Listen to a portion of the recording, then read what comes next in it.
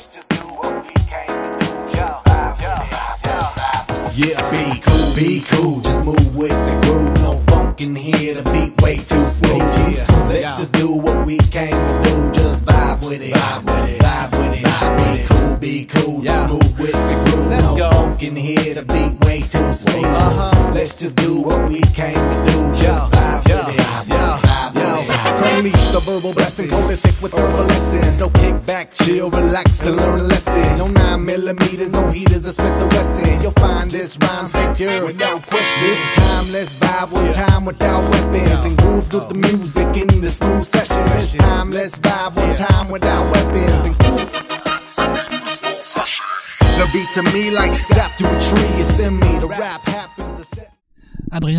Bienvenue. Euh, bah voilà, petite interview dans le cadre du festival de l'imaginaire de Saint-Cana, Geek Family et Autre Monde. Euh, voilà, bah donc du coup on est ravi de te recevoir euh, pour que tu nous parles un petit peu, voilà, de, toi, de ce que tu fais, ton actu, ton rapport au festival. Et voilà.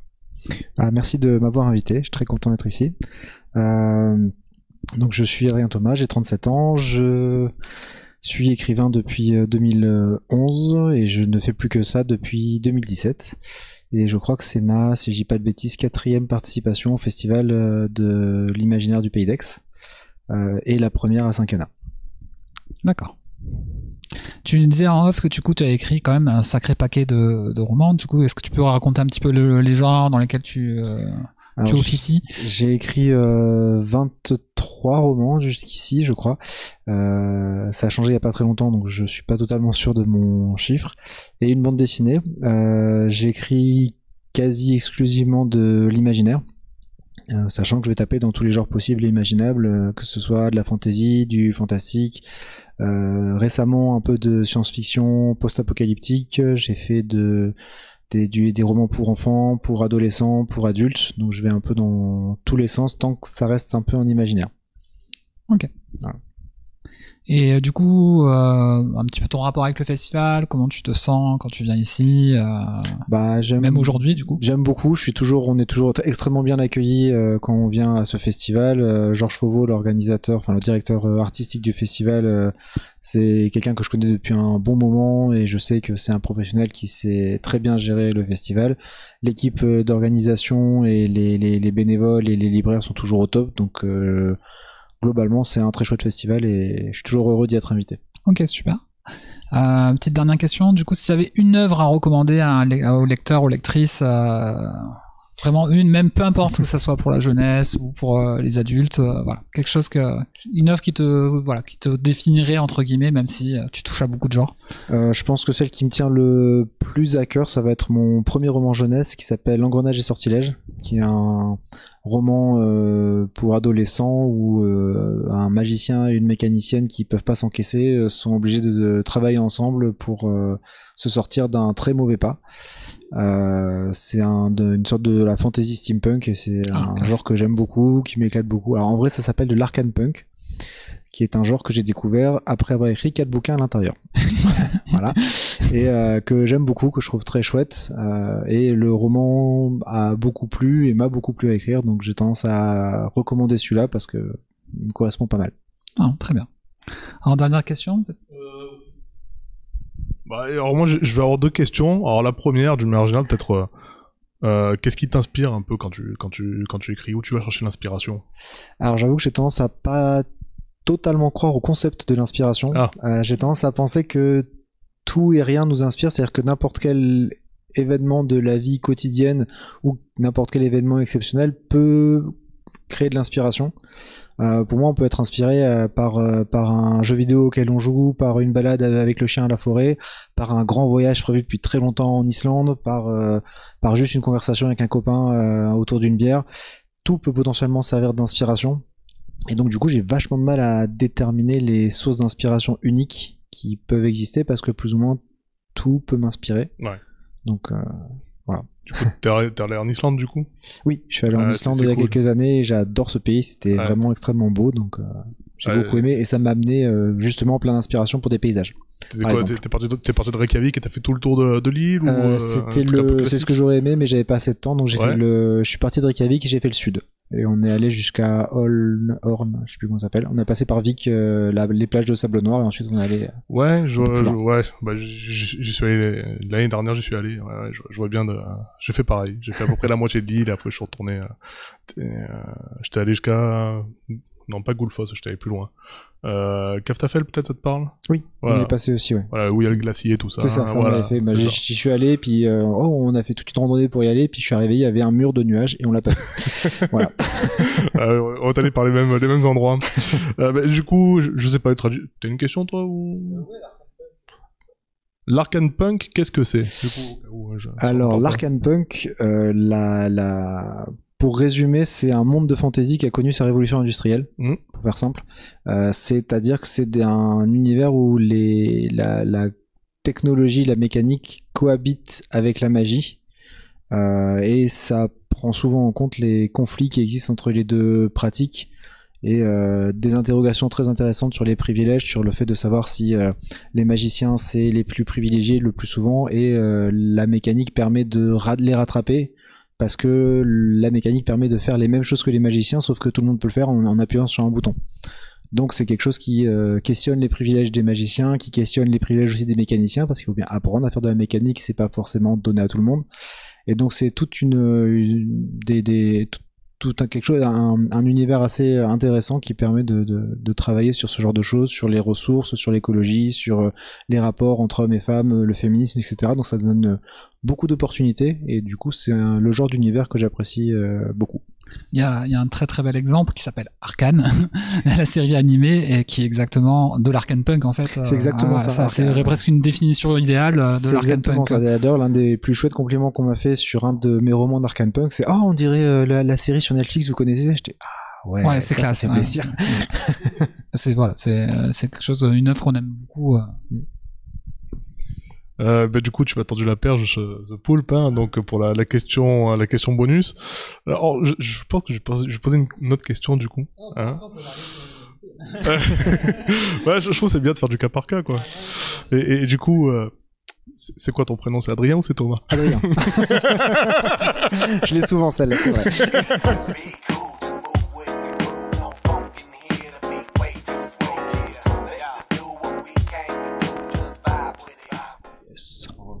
Inception. Bienvenue dans cette bulle imaginaire euh, créée pour le festival euh, par Bernard Fast Streaming. Euh, bah, première question, qui es-tu? Je suis Sylvain Repos, auteur illustrateur de Yujimbot. J'ai actuellement 34 ans et je suis du coup auteur depuis 4 ans. Exactement, c'est euh, c'était ma première BD donc je suis c'est ma première série, première BD donc voilà, auteur depuis peu mais mais content de l'être. Et du coup, ça parle de quoi, Legend Bot quoi? Yojimbot, c'est l'histoire d'une euh, de notre monde un peu laissé à l'abandon où les euh, les humains auraient euh, auraient quitté la, la surface de la Terre du moins et l'auraient laissé euh, l'auraient laissé aux robots qui euh, du coup là on suit des robots dans un parc d'attractions avec une ambiance très japonaise qui suit le code des samouraïs et qui vont se retrouver à protéger un petit garçon en suivant le code des samouraïs parce qu'ils ont été programmés comme ça et on va essayer de comprendre pourquoi ce petit garçon est poursuivi, pourquoi euh, pourquoi il n'y a plus que des robots et compagnie, euh, et quel est, euh, quel est le, le- quels sont les dessous de, de, de toute cette histoire. Ah, C'est intéressant, il y a plein plein d'œuvres en ce moment d'ailleurs qui, euh, qui jouent sur cet effet, justement, le- les humains ont disparu. Ouais. Et on part à la recherche, mais donc, euh, je pense à Stray, hein, Oui. par exemple, dans le jeu vidéo, à, à un autre euh, BD, Mathieu Bablé, Oui. Carbone et Silicium. Donc c'est vraiment quelque chose d'actuel. Euh, Est-ce que t'as été inspiré par euh, ces références-là ou c'est c'est dans l'air du temps comme Non, je pense que c'est ouais, c'est euh, tu sais, c'est les idées un peu néosphères Ouais, voilà, où on est tout, où il y a des idées un peu dans l'air du temps. Je pense qu'on a quitté un peu la période de on, les humains ont tout détruit et et, euh, et on fait table rase de tout. On, maintenant, on est plus sur une sorte de vibes un peu. euh, les humains ont tout abandonné, se sont barrés euh, loin, sous terre, ailleurs. Et en fait, on juste laissé le monde tel qu'il est. Tu sais, cette espèce de fantasme de débarquer dans un restaurant avec les, les assiettes encore chaudes, ce genre de truc où, tu sais, les attaques de zombies où, juste les humains sont partis et tout est laissé un peu en plan comme ça. Il y a pas de grosse destruction. Il y a, la végétation qui reprend qui reprend ses droits, la, faune aussi et euh, en plus, on, va dire un peu post-Covid et compagnie, c'est en plus des, images qu'on a littéralement vues. Tu vois, ce, des sangliers en pleine ville, des choses comme ça. euh, c'est moins un fantasme qu'avant, plus qu'une sorte de projection assez naturelle. Je dis pas que ma BD, je l'ai fait en réaction euh, post-Covid, je l'avais déjà commencé avant, mais je pense que c'est plus des. euh, je pense qu'on est, on fantasme un peu tous cette poésie de les humains sont plus là, à quoi ressemble notre monde tel sans qu'il que est. ça soit justement quelque chose de négatif ou euh, Voilà, de post-apocalyptique. ouais. euh, voilà. Je pense que dans les années, tu sais, les années 80, il y avait vraiment cette vibes Mad Max où c'était un désert et euh, on essayait de survivre au milieu d'un désert. Ensuite, il y a eu un peu le cyberpunk où c'était très, euh, très déprimant. Notre avenir était déprimant et maintenant on fantasme un peu plus. Juste, on, on s'est barré sur notre planète, sous terre ou compagnie. Et, et, et du coup, on fantasme un peu plus de les traces qu'on laisse euh, comme un, comme un musée où on aurait laissé la végétation faire, euh, faire son taf. Du coup, dans, dans la BD, t'es euh, quoi? T'es l'auteur T'es le illustrateur T'es sur les deux? Ouais, je suis auteur-illustrateur. La, la couleur, c'est une coloriste noirie. Mhm. Qui s'en occupe. Moi, je fais que la couleur des couvertures. Mais oui, je suis auteur, illustrateur. C'est ma première BD. C'est mes premiers, mes personnages, c'est mes premiers jouets que j'ai créés de mes, Mhm. de mes propres mains. Et, et pour le moment, je suis, je suis assez content de tout contrôler, tout maîtriser. En Ok. tout cas, pour ma première série, je trouvais que c'était important de, de, de manière un peu puérile, de vouloir absolument avoir le contrôle sur toutes les, tous les aspects. Mais, euh, mais à terme, j'aimerais bien que ça change aussi. J'aimerais bien travailler avec, euh, avec d'autres gens, euh, soit un illustrateur, soit un auteur, ce qui pourrait euh, se passer c'est- très C'est rapidement. chronophage de faire tout à 100%, enfin quasi 100%. C'est pas le problème que ce soit chronophage, ça l'est, techniquement. Mais c'est pas le problème, c'est que là, je suis sur une série, ça fait, euh, voilà, comme je l'ai dit, ça fait 4 ans que je suis dessus. Ça fait 4 ans que je fais beaucoup de dédicaces, que je tourne tout seul, que toutes les responsabilités sont sur mes épaules à moi. On va dire là, la BD se passe très bien, euh, les ventes sont bonnes, l'accueil critique est plutôt bon. Donc il n'y a pas trop ce problème-là, mais je me dis quand même dans un avenir où peut-être euh, la BD sera moins bien perçue, ça pourrait être dur de tout assumer tout seul, Mm. euh, tu vois, ne serait-ce que les, les retards de production, euh, des choses comme ça. T'es t'es un peu tout seul face à ton éditeur, l'attaché de presse, les commerciaux et compagnie. Enfin, c'est beaucoup de moments où tu te retrouves un peu. T'es pas seul contre des gens, mais t'es seul euh, à devoir euh, tout verbaliser. Tu vois, c'est dur de, de ne serait-ce que résumer ta propre BD. C'est euh, c'est toujours des moments où tu te sens un peu, un peu solo, quoi. Ouais, ouais. Est-ce qu'Ultra, toi, t'as une question? Mon parcours. Ouais, du coup, ton parcours euh, qui t'a amené à, à la BD. Il est, euh, il est assez euh, long et atypique. C'est pas, c'est, tu vois, je suis pas le, c'est pas, pas le tapis rouge, tu vois, c'est pas la voie royale pour faire de la BD. Moi, je, dessine depuis que je suis tout petit. Vraiment, j'ai jamais arrêté de dessiner, que ce soit sur mon temps libre ou en cours. Du coup, j'ai complètement euh, niqué ma scolarité. Voilà, j'étais en échec scolaire assez tôt et euh, ça, ça se voyait pas forcément dès le départ, mais du coup, j'ai fini par, euh, par devoir faire un bac un BEP, bac professionnel, et j'ai fini, j'ai fini, ouais, j'ai fini, j'ai fini en tourneur fraiseur. Donc vraiment dans le dans l'usinage, ce genre de choses. Mais ça m'a quand même apporté quelque chose que j'ai que j'ai gardé, que je garde toujours jusqu'à maintenant, c'est le dessin industriel. Là-bas, j'ai euh, j'ai eu un peu cette euh, cette formation là de euh, le, le tracé hyper précis, euh, faire des belles lignes droites, faire des beaux cercles, ce genre de choses, apprendre à coter une forme, apprendre à surtout apprendre à vraiment concevoir une pièce. En fait, d'après un plan en 2D, t'arrives à te la projeter en 3D dans ta tête. Ça, c'est le genre de truc que j'ai beaucoup gardé et, du coup, j'arrive vachement à me projeter sur, euh, par exemple, mes robots. Je les imagine vraiment en 3D, j'imagine vraiment leurs articulations, j'arrive à garder tout ça. Et du coup, après ce, euh, après ce bac professionnel, euh, j'ai pas été accepté dans les écoles, euh, les écoles de dessin publiques ou quoi, parce qu'ils acceptaient pas les bacs pro. voilà, il fallait venir d'une meilleure école que ça. J'ai quand même réussi à me réorienter en fac d'art plastique, qui était plus théorique euh, qu'autre chose. C'était vraiment philosophie de l'art, histoire de l'art, quelques cours de création personnelle, mais c'était pas, pas, de la BD ou pas du dessin pur, quoi. Mais euh, encore une fois, voilà, c'est des études où j'ai pu beaucoup dessiner sur mon temps libre, j'ai pu euh, beaucoup créer, vraiment d'avoir suffisamment de temps pour ça. Et en fait, pendant ce temps-là, je je m'étais vachement amélioré en dessin. Et aussi, je commençais à rentrer dans des petites lubies, des petites manies de, voilà, j'avais quitté ma période un peu émo-gothique à dessiner des squelettes et j'étais passé garder cette espèce de, de, j'étais toujours été fan de mécanique euh, corporelle, c'est-à-dire les, voilà, les os, les jointures, les trucs comme ça. Sauf que je l'ai transformé en dessiner des robots, en dessinant des robots. C'est-à-dire, je continue de dessiner des squelettes techniquement, mais c'était des robots maintenant. Donc en fait, j'ai toujours gardé cette espèce de passion pour le corps, passion pour les, euh, pour les articulations, pour les Ce jointures. qui est un peu l'âme du dessin aussi. Hein. Ouais. Et du coup, j'ai gardé cette espèce de truc où, du coup, pendant mes études, j'ai beaucoup, euh, fait des sortes de catalogues de robots. En fait, j'en dessinais tellement, ça, ça me remplissait des carnets et compagnie. Et à la fin de mes études, pendant que je travaillais, eh ben, j'ai commencé à vraiment avoir beaucoup de recherches, beaucoup de, beaucoup de petites scénettes qui, euh, qui arrivaient. Et en fait, à la fin de mes études et à la fin de mon taf, euh, je, je- me suis pris deux ans de chômage, pendant lesquels je me suis dit, c'est le moment de tenter un truc artistique, vraiment. Là, euh, là, j'ai- j'ai j'ai ce temps-là, j'ai la liberté de le faire et il faut le faire à 100%. Et du coup, j'ai j'ai préparé des dossiers de, de bande dessinée pour des pour des maisons d'édition. Je l'ai vraiment, j'ai vraiment joué le jeu à fond. J'ai regardé sur internet ce qu'ils demandaient, ce qu'il fallait, combien de pages ils demandaient, quel type de recherche ils voulaient. Et j'ai fait des dossiers euh, hyper béton. Euh, euh, ils demandaient 15 pages, j'en ai fait 40, euh, des trucs comme ça. Et je l'ai envoyé à plusieurs maisons d'édition et en fait, euh, et en fait, la plupart m'ont répondu favorablement ou vraiment positivement en mode on un rendez-vous et, et on en parle. Et en fait, très vite, j'ai signé et, et je me suis lancé dans la BD. Super parcours, hein, super intéressant. Ouais, bah je suis, euh, je suis hyper content. Du coup, je- j'essaye d'en parler à chaque fois en me disant, tu sais, il y a pas mal de gens qui veulent faire de la BD mais qui ont pas été acceptés dans telle école et coup, je fais. pff, En fait, c'est pas, c'est pas l'école qui fera le truc. L'école t'améliorera vachement en dessin, vachement en morphologie, cours d'anatomie, euh, séquentialité, mais ça, tu peux l'apprendre aussi sur ton temps libre. C'est, il y, a, y a pas de diplôme en fait. C'est, euh, c'est, vra- c'est vraiment des métiers artistiques. Donc en fait, c'est la qualité de ton travail qui comptera, pas tes diplômes. Donc en fait, euh, si, si jamais tu veux faire de la BD, tu regardes juste sur internet, sur les sites euh, de, par exemple, euh, je prêche pour ma paroisse, mais tu tapes Dargo dépôt de projet. En fait, tu vas tomber sur une page où, dédiée à, qu'est-ce qu'il faut pour faire un dossier, euh, quel est le nombre de pages de texte, quel est le nombre de pages de, BD.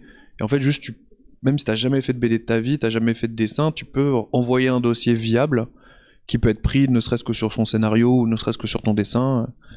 On sait jamais. Donc en fait, il n'y a pas d'école à proprement parler euh, où tu es sûr de faire de la BD à la fin, quoi. L'école de la vie, quoi. L'école de la vie, oui. Alors ben, la, la question bonus, c'est ça, ouais, la question bonus. Euh, Est-ce que ça aide avec les meufs de, de ressembler à Zlatan Ibrahimovic? Ah, merde. C'est bien parce que suivant les gens, suivant les périodes, c'est euh, c'est pas le même euh, la même ref. euh. Ouais. T'as Ah sorti ouais. quoi comme rêve Ah ouais. Parce que tu vois, si je mets les lunettes d'un coup, je deviens SCH un peu. Il y a quelque chose. Tu vois, il y a quelque chose. C'est vrai, c'est vrai. Ouais. Voilà, si j'ai les cheveux détachés, je suis un peu plus. euh,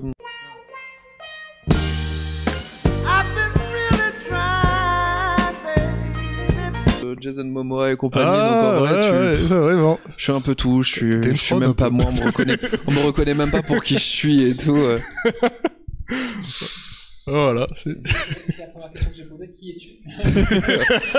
Voilà, T'as je dit- suis, euh, je suis moi et je ressemble à tout le monde en même temps, donc euh, c'est le Bon, après, il y, problème. y a pire, Zlatan Ibra- Ibrahimovic ou, euh, ou Ouais. Jason Momoa, il y a pire comme rêve. Ça va, c'est pour ça que c'est moi qui les ai dit, tu vois. Il se peut que tu m'aurais dit, est-ce que tu... euh, comment il s'appelle, là, le Sylvain... euh, euh, Sylvain qui est un peu... En plus, il a le même nom que moi et tout. Il me rend ouf, ce... Voilà, Sylvain Mirouf, là. Celui qui veut fonder sa secte de Merlin, l'enchanteur, ou je sais pas quoi. Ah, il te ressemble, là, je, je, je Non, il me ressemble pas, mais il a Ah. les cheveux un peu longs, il s'appelle Sylvain. D'accord, donc ouais, euh, il y en a qui le font. Ok. ouais. Oui, c'est vrai, The, Poulpe, bah, c'est Olivier Gay. Ah oui, oui, c'est vrai. Eh, tu vois, d'un coup. Écoute, après quelques verres de plus, ça se trouve, je vais vous confondre tous les deux. euh. On a montré la photo à leur mère, elle voit pas la différence. Ça marche. Elle va juste acheter deux fois plus de cadeaux pour Noël. Trop bien. bon, bah écoute, merci euh, pour ton temps. Et, Bah, cool. euh, ben voilà, Euh, on va se croiser encore dans, dans le festival. Voilà, venez, vous, vous savez où j'habite. Ça va.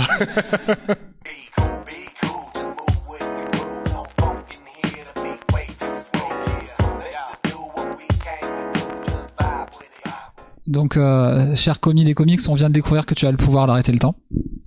Ah bon? Ouais, bah oui, bah tu as été capable d'arrêter les images en tout cas. Et, euh, On appelle ça un bug technique, mais euh, je, je, je prends, je prends. Ouais, ouais, c'est, c'est moi, Doctor Strange, voilà, voilà, c'est ça.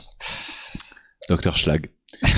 Comme ça. Donc euh, bon, même si pour certains il n'est plus besoin de te présenter, il, va- il va falloir quand même euh, y couper, hein, faut savoir avec qui es-tu, plaisir, avec qui grand es-tu? plaisir. Moi, c'est le commis des comics, Cédric. Euh, traducteur de bande dessinée, euh, je fais des vidéos sur YouTube euh, toutes les semaines, euh, je fais des conférences, je fais des quiz, je fais des animations, on s'amuse avec les comics, avec la pop culture et c'est comme ça que qu'on aime vivre la vie. on est à Saint-Cana, il y a trois animations de prévues et pas des moindres puisqu'il y avait déjà ce matin un quiz. Euh, un petit quiz sympa, mais à Saint-Cana, ils sont toujours très chauds, donc ils réussissent Est-ce qu'il y a eu le même champion que l'année dernière? Parce que ça, c'est la question qui nous a taraudé. Non, mais là, c'était plus. J'ai fait un truc un peu plus diffus pour pas ait. Je les ai mis en équipe, pour pas que voilà, pour pas que ça soit, pour pas qu'il y ait des, une oligarchie de suite qui se qui se qui se détache avec trois personnes qui sapent le moral de tout le monde et que j'ai que j'ai 36 dépressifs à la fin, euh, donc ça va. Et ensuite, il y a eu, enfin, il va y avoir une conférence sur le multivers parce que c'est à la mode en ce moment et que mine de rien, ça a été, alors évidemment popularisé par la science-fiction. Enfin, on pourrait même remonter au texte antique, mais le, concept de physique même, c'est la science-fiction. Mais mine de rien, le concept a, été popularisé par les comics dans le Flash of the Two Worlds en 1963 ou 61, je sais plus, 61. Euh, donc c'est vraiment les comics et Flash qui ont popularisé le concept de, de la Terre parallèle, de la dimension alternative et, euh, et, et depuis ça a été puisque ça marche très bien dans les comics où on a besoin de franchise. Donc si vous expliquez à quelqu'un qu'il a deux fois le même personnage, potentiellement trois fois, que ça fait des produits dérivés, que ça fait et puis en plus ça permet de raconter des, des belles histoires. Hein, c'est pas que cynique. Donc euh, on va on va s'amuser avec le multivers et après c'est la battle de dessin entre Bruno Bessadi, entre Sylvain Repos ils vont se rendre coup pour coup et me tarde et me tarde de les voir se battre. Donc on s'amuse, c'est bien, c'est, familial, c'est populaire. Moi j'aime beaucoup ce genre de festival où je vois des jeunes, des moins jeunes, euh, et tout le monde s'amuse, tout le monde a ses références geeks, euh, et c'est ça qui me plaît. Ah, c'est bien, tu, as répondu à la deuxième question. Voilà, ton rapport avec le festival, c'est pas la première fois que tu viens. Euh, sexuel. ouais, Vraiment sexuel. Ouais, c'est, et, et ah, ça, Non, ça c'était avec Thierry, pardon. Le festival, j'aime beaucoup. j'aime beaucoup. Du coup, bah, parle-nous un petit peu du multivers. Moi, je sais que c'est un, c'est un concept que j'ai découvert plus en littérature, euh, dans la littérature de l'imaginaire, hein, avec euh, l'écrivain anglais euh, Michael Moorcock, euh, qui est un peu en fantasy, on va dire en dark fantasy, mais en fantasy de manière générale, euh, le créateur du multivers en littérature. Euh, d'une certaine manière, même si je pense que ça existait déjà avant aussi, mais euh, c'est lui qui l'a vraiment étendu. Euh...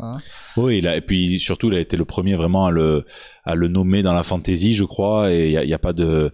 Il euh, y, a, y, a, pas de mystère, mais c'est euh, voilà. C'est la période d'ailleurs des années 60-70, hein, donc c'était vraiment dans l'air du temps ce concept-là. Oui, parce qu'il a fait, bah, on peut dire pourquoi, parce qu'il a fait avec Elric mm. un, un, champion suprême, à savoir un avatar gardien de la balance cosmique de chaque monde dans lequel il situait ses aventures. Elric est un des, euh, des, gardiens de la balance cosmique, un, un, un champion suprême.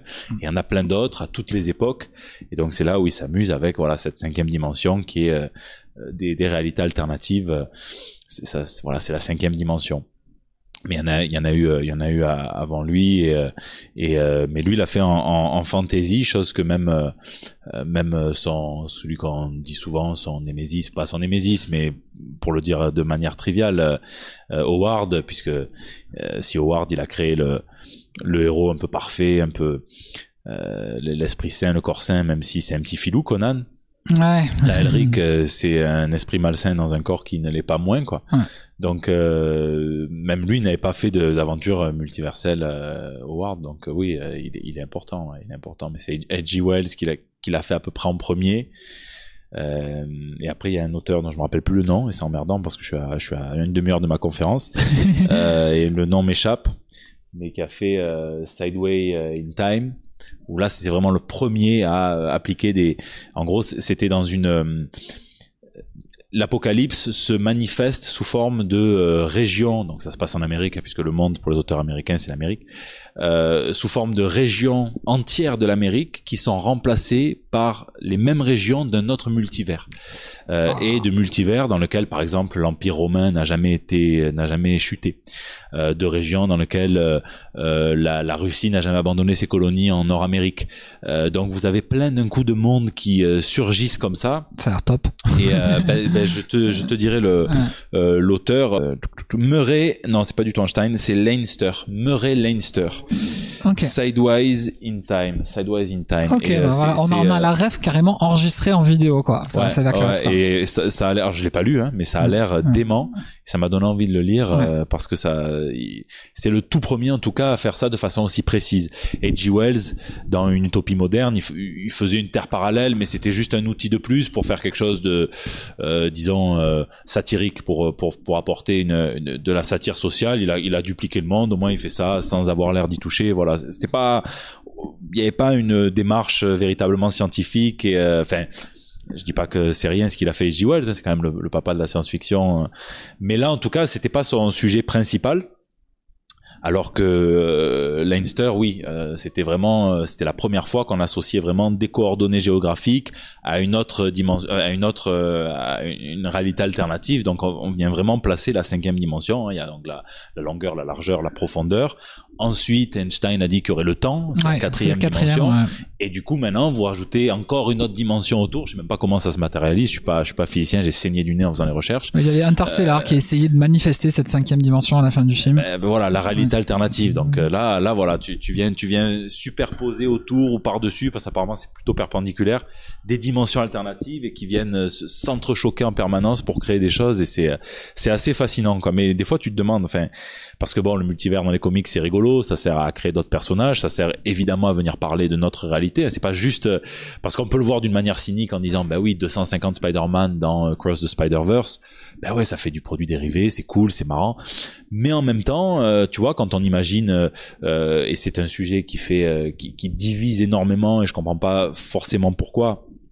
Un Superman noir. L'idée, il y a une époque où euh, Idris Elba devait euh, être être candidat pour euh, pour Superman ou Michael B. Jordan. Idris Elba, c'était plutôt James Bond, pardon. Ouais, c'était James Bond. Je James pensais, je Bond, me dis, il, a fait, moi, moi, je le vois, elle est tellement classe, je le vois, Ah, je le vois, classe, je le vois en Superman aussi, donc. euh, Ouais, mais euh, ben, avec les dimensions alternatives, ça permet quand même de venir un peu esquiver les, de venir esquiver les, les, les critiques de toujours les mêmes types qui supportent pas que euh, qu'on change la couleur de personnages euh, et qui, sont très susceptibles avec ça.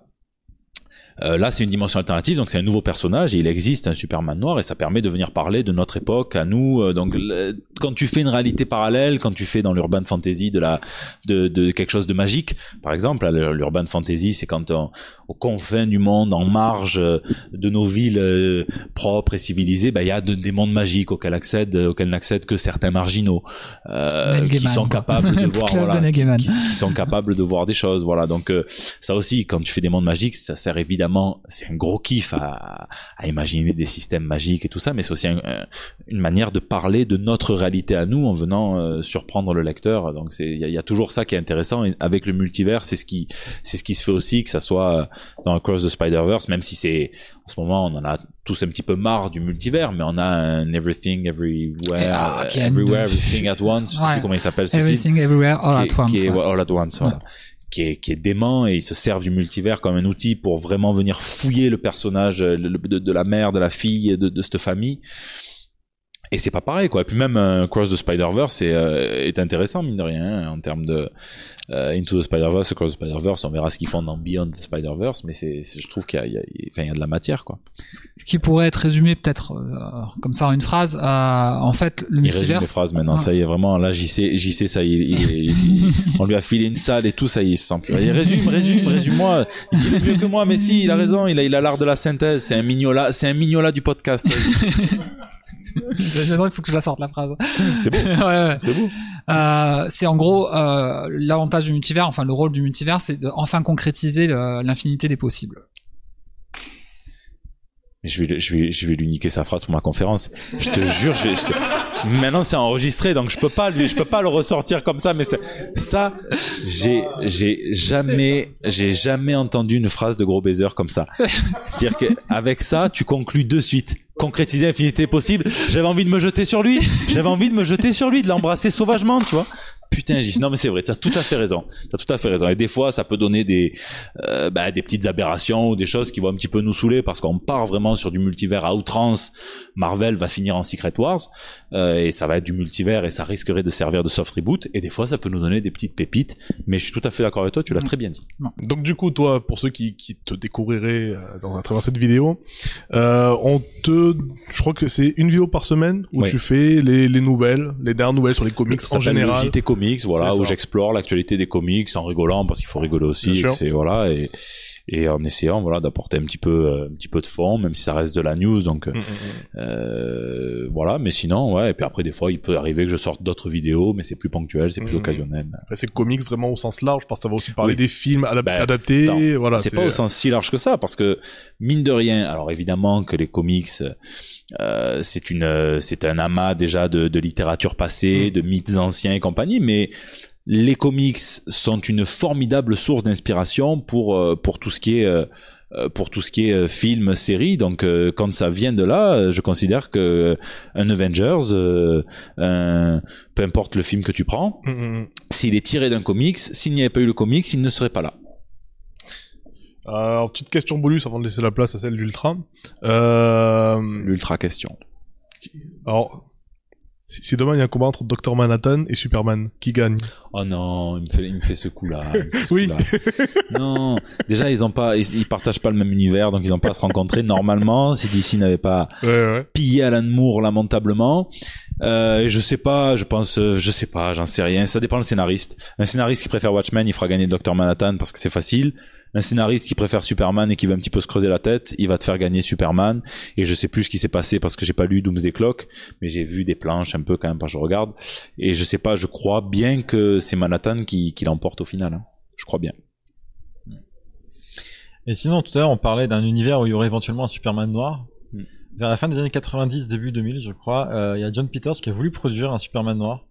Un Superman noir sans pouvoir, euh, avec un sidekick qui avait des gadgets, et euh, qui affrontait une araignée mécanique à le troisième acte. Est-ce que tu sais à quel film on fait référence? Euh... Ah, j'ai jamais vu ça. C'est le pire, euh, c'est le pire euh, Will Smith. Ça. C'est parmi, ouais, C'est parmi les pires. C'est ouais. le pire Will Smith avec avec sa, sa prestation aux Oscars. Ouais, ouais. C'est, euh, c'est. Il y a Wild Wild West et la gifle. C'est euh, d'accord. Ouais, non, je, ouais, ouais, non, mais écoute, non, je connais pas ça et je, je, je pas sûr d'avoir envie de connaître, mais euh, mais pas mal, pas mal. Euh, Je pense que. Il y a une conférence de, de Kevin Smith en fait qui en parle euh, sur internet qu'on peut trouver, qui dit qu'en fait il a recyclé euh, une idée de scénario de, de Superman pour en faire euh, une adaptation des Mystères de l'Ouest. euh, D'accord. Bah oui. D'accord, je savais, je savais pas que c'était recyclé d'un scénario de Superman. Kevin Smith, de toute façon, c'est un grand, grand avocat des comics, donc euh, pas le meilleur, euh, meilleur scénariste de Batman Comme qui quoi, soit. on peut apprendre un truc au commis des comics. Mais tu peux m'apprendre. Attends, un truc, 10 milliards de trucs. Et continuer de m'apprendre des choses, j'adore ça. Donc euh, allez-y. Merci, merci beaucoup. Merci les beaucoup, gars. ouais. Merci.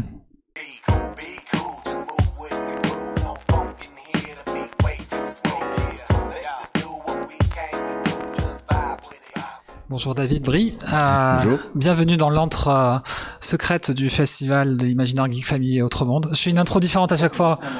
Un antre? Ouais, mais j'aime bien une antre. Voilà, voilà. Euh, je me fais attaquer. Euh, voilà. Euh, qui es-tu? Présente-toi. euh, voilà. Quel est ton rapport avec le festival euh, du coup de l'imaginaire? Eh ben euh, donc euh, bonjour bonjour donc moi je suis euh, David Brie je suis euh, écrivain. Euh, mon rapport avec le festival c'est qu'il a la gentillesse de bien vouloir euh, m'inviter. Donc ça fait deux ans que que je viens. L'année dernière j'étais là en tant que en tant qu'écrivain et puis euh, c'était très très chouette. Et cette année je reviens toujours en tant qu'écrivain. Mais cette fois-ci j'ai en plus fait pas mal d'interventions scolaires dans les écoles à la fois de Saint-Cana et de Coudoux ce que j'écris à la fois des romans adultes où je tue à peu près la moitié des gens et les autres euh, ils se suicident en général. Mais j'écris aussi pour la jeunesse. Et quand j'écris pour la jeunesse par contre j'évite de tuer la moitié des gens euh, et de les faire se suicider parce que c'est un petit peu triste pour les enfants. Donc là j'écris des histoires plutôt euh, amusantes ou bien solaires des, histoires d'amitié et de magie. Et c'est ce que je raconte aux enfants quand je ne me mélange pas les pinceaux et que je leur dis pas que je tue leur héros préféré à la fin. En vrai ça n'arrive jamais. J'évite de leur dire ça aux enfants. Et du coup c'est un très chouette festival que j'aime beaucoup. Et ce qui est très touchant en litté, euh, en jeunesse, euh, c'est de, c'est l'enthousiasme des enfants. Euh, quand on va dans les écoles, euh, ah, ils nous font des dessins, ils nous, ils nous racontent. euh, c'est là où on a de la chance, à quel point ils ont aimé nos histoires, à quel point on les a embarqués. Euh, c'est vraiment très très très touchant d'une manière différente. Le, le public adulte, c'est c'est c'est tout aussi touchant, mais il y a toujours plus de retenue. Donc voilà, donc je suis là pour tout ça à la fois et c'est un véritable bonheur. Ouais, donc c'est un parcours qui est, qui est très chouette parce que euh, c'est pas forcément tous les festivals euh, de littérature qui ont cette euh, dimension un peu scolaire, on va dire, au- auprès de ces publics. Et euh, du coup, ça a consisté en quoi en fait ces interventions en milieu scolaire? Est-ce qu'ils devaient lire le livre en avance ou euh, est-ce que c'est quelque chose où qu'est-ce que tu as fait en fait comme un type d'intervention auprès des enfants? Alors quand on nous sollicite comme ça, il y a, y a plusieurs manières de, nous faire de nous faire venir. Des fois, on fait des ateliers d'écriture, ça, ça arrive pour pour euh, montrer aux enfants qu'écrire c'est pas compliqué, qu'écrire ça peut être aussi un plaisir euh, et que même sans devenir écrivain, on peut aussi euh, prendre du plaisir à écrire. Ça peut écrire une lettre, mais aussi mais aussi euh, inventer des histoires. L'imagination, c'est quelque chose qui euh, qui des fois nous sauve et qu'en tout cas c'est quelque chose qui nous fait imaginer plein de choses et surtout les enfants, c'est imaginer leur, leur futur, c'est penser leur futur, imaginer leur futur, imaginer plein de choses. Et, et les histoires, c'est aussi, ça permet aussi d'exprimer beaucoup de choses, des choses méga chouettes, des fois des choses un peu, un peu plus difficiles, mais c'est vraiment quelque chose de très important. Euh, là, les enfants, donc je suis venu dans le cadre de- du salon, mais surtout pour un de mes romans qui s'appelle Les Héritiers de Brizen, euh, qui était, euh, donc c'est une série en cinq tomes, et le tome 1 a été offert euh, aux classes euh, où je suis intervenu, donc ils l'ont lu euh, avant que je vienne. Ils ont lu le tome 1, le premier tome de la série. Et euh, du coup, les interventions que j'ai faites auprès des enfants, c'était euh, bah, euh, me présenter. Euh, ce qui est important, c'est euh, c'est qu'ils sachent un qu'il y a des écrivains vivants, euh, que, que quand on écrit, c'est pas forcément qu'on est mort, euh, et puis que leur, c'est leur montrer. Moi, c'est un rêve d'enfant. Vraiment, j'ai c'était, euh, je, je rigole souvent avec les enfants parce que je commence ma présentation en disant que quand j'avais leur âge, quand j'étais petit, j'avais trois rêves. C'était être roi. Bon, celui-là, ça les fait rire. Et puis en plus, c'est raté, donc je leur dis que j'ai pas de couronne, que j'ai pas de carrosse. C'est d'a- d'avoir un château fort que j'ai pas non plus. Hein. Et mon troisième rêve, c'est d'être écrivain. Et je leur dis souvent ça. Déjà, c'est pour les faire rire, mais c'est aussi pour leur dire que quel que soit leur rêve, qui, qui veuille être médecin, euh, astronaute, euh, champion, championne de judo ou, de cheval ou n'importe quoi, ou pâtissier, etc. Que euh, bah, avec euh, de la volonté, du courage, du travail, on peut y arriver. Euh, donc je me présente auprès des enfants, je présente euh, rapidement mon travail, puis après c'est beaucoup de questions. Euh, ils sont euh, évidemment très curieux, c'est très bien, et ils sont très curieux sur le métier d'écrivain, sur comment est-ce qu'on fait pour inventer une histoire, comment est-ce qu'on fait pour avoir de l'imagination. Ce à je leur réponds qu'on a la même, eux et moi, euh, que euh, si on se laisse euh, réfléchir, penser, si on s'ennuie un peu, si on se laisse s'ennuyer, si on n'est pas toujours happé par, entre autres, les écrans, mais pas que, qui peuvent, tout comme moi, inventer des histoires. Donc c'est beaucoup de questions autour de ça, c'est aussi beaucoup de questions sur, euh, sur euh, les héros euh, de mes histoires, c'est d'où viennent les prénoms, comment j'ai fait pour inventer telle scène, qu'est-ce qui se passe après, est-ce que je travaille avec un ordinateur ou, un stylo Est-ce que c'est moi qui ai fait les dessins? Oh non, c'est pas moi, je suis super nul en dessin. Moi, je sais que inventer des histoires. Donc c'est beaucoup de questions autour de autour de la, de la création d'une histoire, autour et aussi autour de la fabrication d'un livre. Euh, des fois, c'est c'est très mignon les gamins, c'est que des fois ils me disent mais c'est toi qui imprime tous les livres? Je dis, non non, c'est pas moi, sinon j'y passerai ma vie et beaucoup de cartouches d'imprimante. Que c'est un imprimeur qui les fait. Donc on parle aussi un petit peu de la chaîne du livre. Donc voilà, c'est ça nourrit un peu toutes leurs questions autour de comment est-ce qu'on fait pour créer une histoire. Et le but, évidemment, c'est de partager avec eux l'amour de la lecture, c'est que qu'ils lisent mes histoires, tr- très bien, je suis très content, mais c'est qu'ils lisent des histoires et qu'ils continuent plus tard. C'est toujours mettre la graine de la lecture parce que lire, c'est euh, magique. Ouais, je suis complètement d'accord. Et ce qui est rigolo, c'est que du coup, je partage euh, deux des trois rêves communs, et c'était pas celui des trois, donc. euh, Du coup, ah, je crois que je parlais pas dans le bon truc. je crois. Ah, c'est le bon sens. Euh, alors, du coup, les héritiers de Brizen, c'est en combien d'exemplaires actuellement? Enfin, en combien de tomes plutôt? Ouais, alors c'est en 5 tomes. Ouais. C'est le, et c'est une série en, en 5 tomes seulement. En tant que lecteur, je suis pas, je suis pas fan des séries à 35 tomes. Ça me fait un peu peur en tant que lecteur. Et du coup, Mhm. souvent, je, je, je crois que quand on écrit, on écrit aussi des histoires qu'on aimerait lire. Et en tout cas avec des formats qu'on- aime. Et, euh, et quand Nathan m'a proposé de faire cette série, euh, ils, étaient très cool. Ils m'ont dit tu fais le nombre de tomes que tu veux. Et euh, au début, je voulais en faire 4. et puis en écrivant le tome 3, je me suis rendu compte que j'avais besoin d'un peu plus de place pour, pour déployer l'histoire. Et du coup, je suis passé à, à 5. Ok. Euh, et, ouais, et les enfants, des fois, ils voudraient bien que ça continue après. mais euh, voilà, peut-être qu'on fera d'autres histoires avec Nathan dans le, dans le monde des héritiers de Brizen. Mais cette série-là, en tout cas, Ouais. cette histoire-là en 5 tomes, c'est des sortes de spin-off ou des choses comme ça Ouais, euh, ouais, un- D'accord. peut-être qu'on ferait un préquel et puis, euh, et puis Hmm. euh, sur sur la, la, la jeunesse de certains des personnages euh, et puis et puis qu'est-ce qui se passe quelques années après, mais toujours sur un, un format de série un, peu un peu resserré. Est-ce que tu peux nous montrer peut-être à l'écran les, euh, ouais, les Ouais. tomes euh, ça, alors, le un peu plus haut du coup. Un peu plus haut. Ouais, voilà, parfait. Tu peux, tu pourras approcher la caméra si tu veux. euh, Voilà. Ça, c'est le tome 1 du coup. Ouais, le tome 1, ça c'est le tome 2. Alors les illustrations, euh, donc les couvertures comme les illustrations sont très intérieures sympas. ouais. sont de Noémie Chevalier, qui euh, qui au-delà du fait d'être très sympathique, euh, mais ça je l'ai su après, elle est extrêmement talentueuse. Mhm.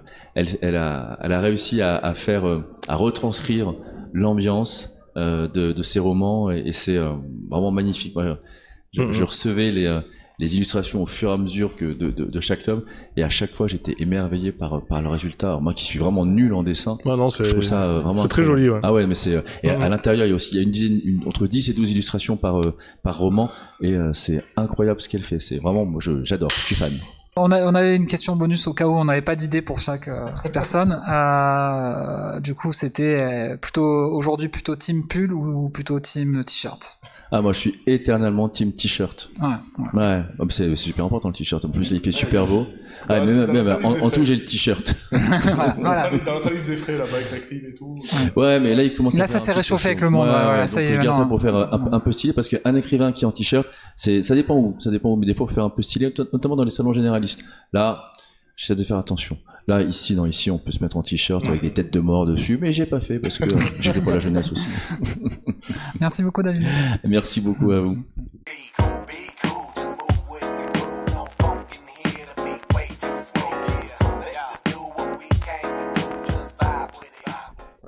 Bonjour Cécile. Bonjour. Bon voilà, comme chaque invité, euh, invité interviewé, bon, je sais pas comment on va dire.